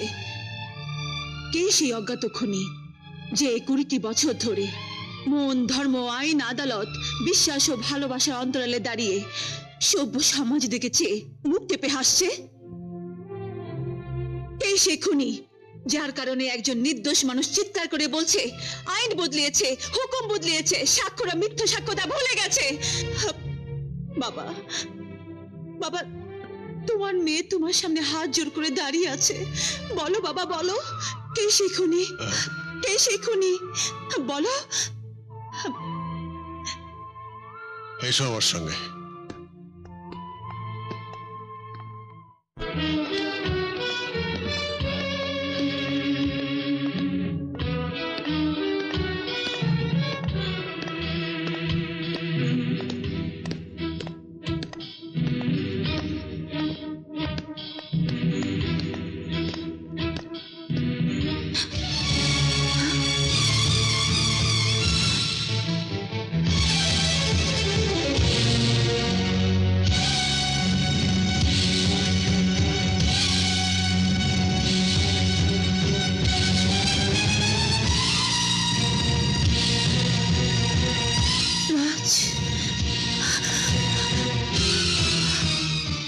হত্যা করো। বাবা। হ্যাঁ নিশানা ঠিক করো। হত্যার ব্যাপারে কোনো মায়া মমতা আমি প্রশ্রয় দিই না। ধরো ধরো। ভেবে দেখো ওই লোকটা তোমাকে ধোকা দিয়েছে। বিশ বছর তুমি শান্তিতে ঘুমোতে পারোনি যন্ত্রণার আগুনে পুড়ে মরেছ। তোমার সন্তানের পিতৃত্বকে স্বীকার করেনি। ওকে হত্যা করো।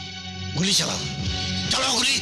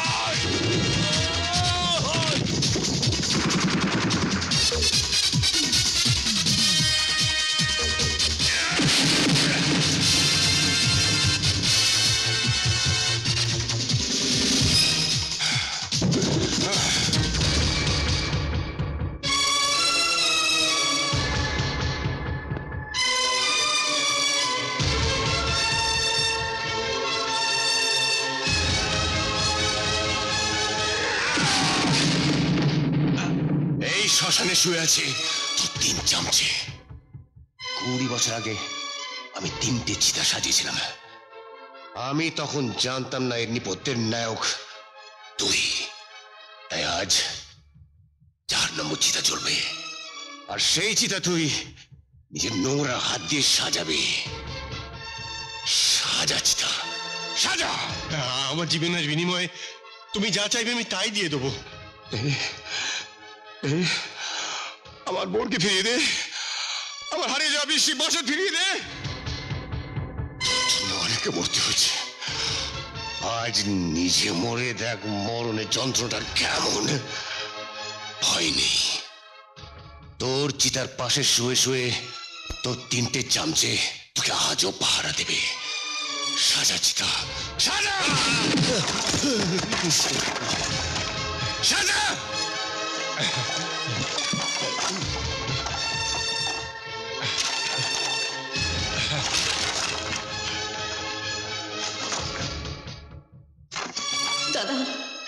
আমার মৃত্যুর প্রতিশোধ নে আমার খুনিদের ক্ষমা করিস না দাদা। আমার খুনিদের ক্ষমা করিস না। ক্ষমা করিস না।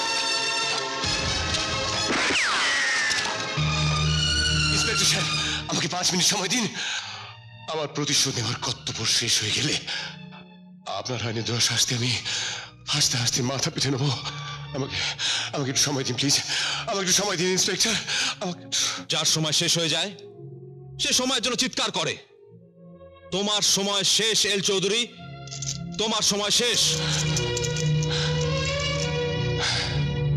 অর্ডার অর্ডার এই নাটকীয় হত্যাকাণ্ডের নায়ক এল চৌধুরী।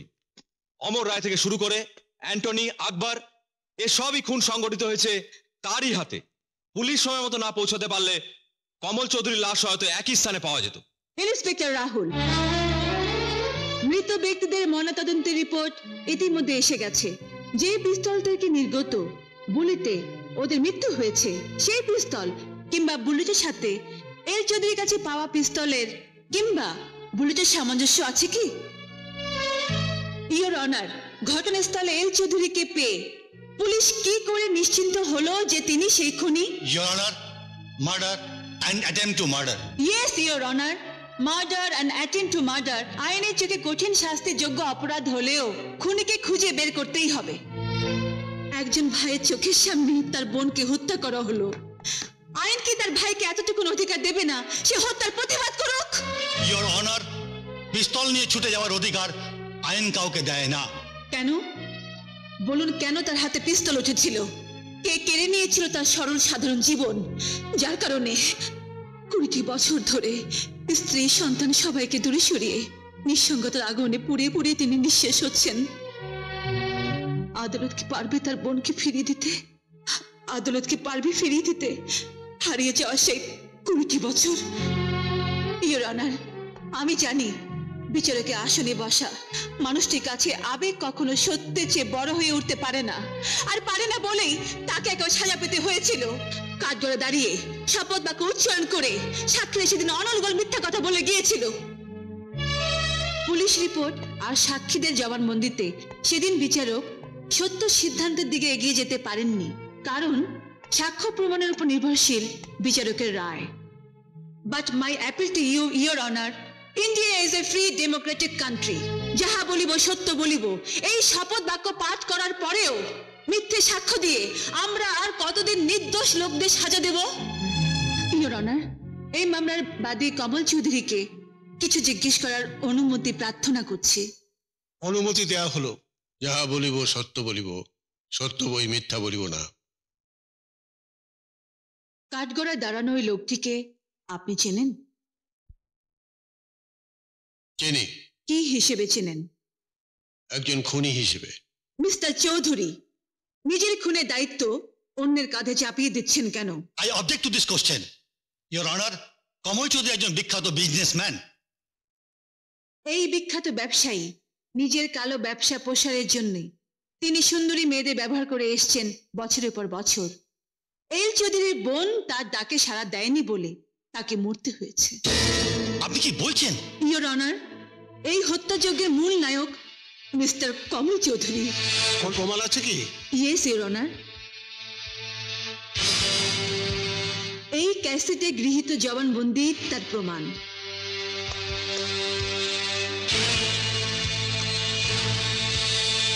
এল চৌধুরী বোন খুন হয়েছিল আমার হাতে।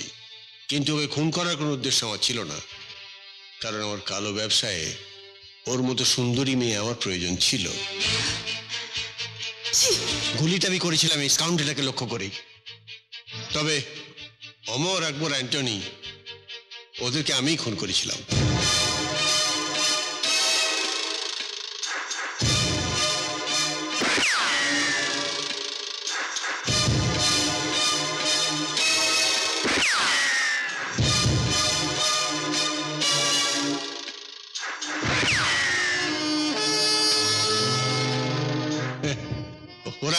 করছিল।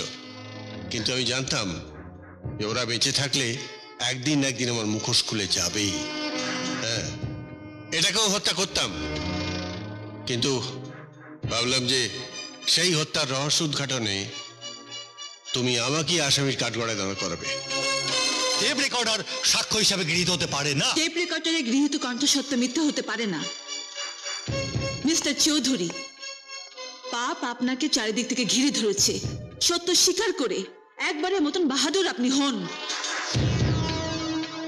জবাব দিন। জবাব দেন। হ্যাঁ হ্যাঁ খুনি আমি। আমি খুন করেছি। সেই সঙ্গে আরও দুজনকে খুন করলে আজ এই আদালতের কাঠগড়ায় আমাকে দাঁড়াতে হতো না। মরার আগে সেই ভুলের প্রায়শ্চিত্রা করে যেতে চাই। কি করছে দিন দিন কমল চৌধুরীর নিজস্ব স্বীকারোক্তিতে এই আদালত সাংঘাতিকভাবে এই সিদ্ধান্তে পৌঁছেছে যে অমর রায়, আকবর এবং অ্যান্টনি সবাইকে তিনিই হত্যা করেছেন। তাছাড়া আদালতের মর্যাদা হানিকর মারাত্মক অস্ত্র তিনিই বহন করিয়াছেন। উভয় কারণেই আদালত তাকে ভারতীয় দণ্ডবিধির তিনশো দুই ধারা অনুযায়ী মৃত্যুদণ্ড প্রদান করিল।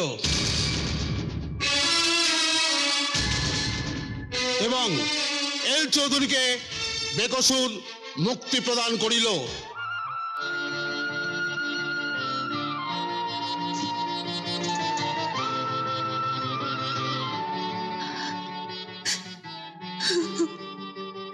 আমি অনাথ হয়ে গেলাম বাবা। আমি অনাথ হয়ে গেলাম। তুই ঠিক করেছিস মা। তুই ঠিক করেছিস। চলুন। চলুন। আসুন।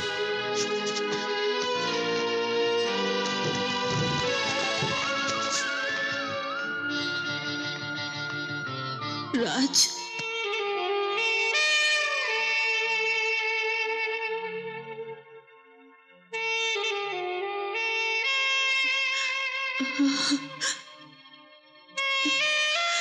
জীবনের সাথে যুদ্ধ করে আমি আর পারছি না।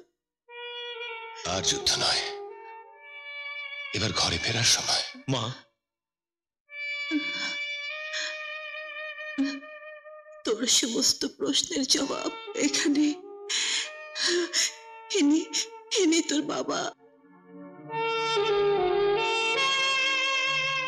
পুলিশ অফিসার হিসেবে আমি আমার কর্তব্য করেছি। কিন্তু কিন্তু সন্তান হিসেবে আমি অকৃতজ্ঞ, বাবা। না রে না। সন্তানের জন্মের পর যে বাবা, তার সন্তানের মুখ একবারও দেখতে চায়নি, তার চেয়ে বড় অকৃতকার কে আছে বল? রাহুল, আমার একটা কথা রাখবি। যে হাত দিয়ে বাবার হাতে হাত করা পড়েছিলি সেই হাত দিয়ে নিশার চোখে জল মুছে দিতে পারবি না? ওই অভাগী দিন জানতো না যে ওর বাবা মা কেউ নেই। আজ আমরা আমরা সব পেয়েছি কিন্তু ও সব হারিয়েছে। রাহুল বাবা যা। নিশা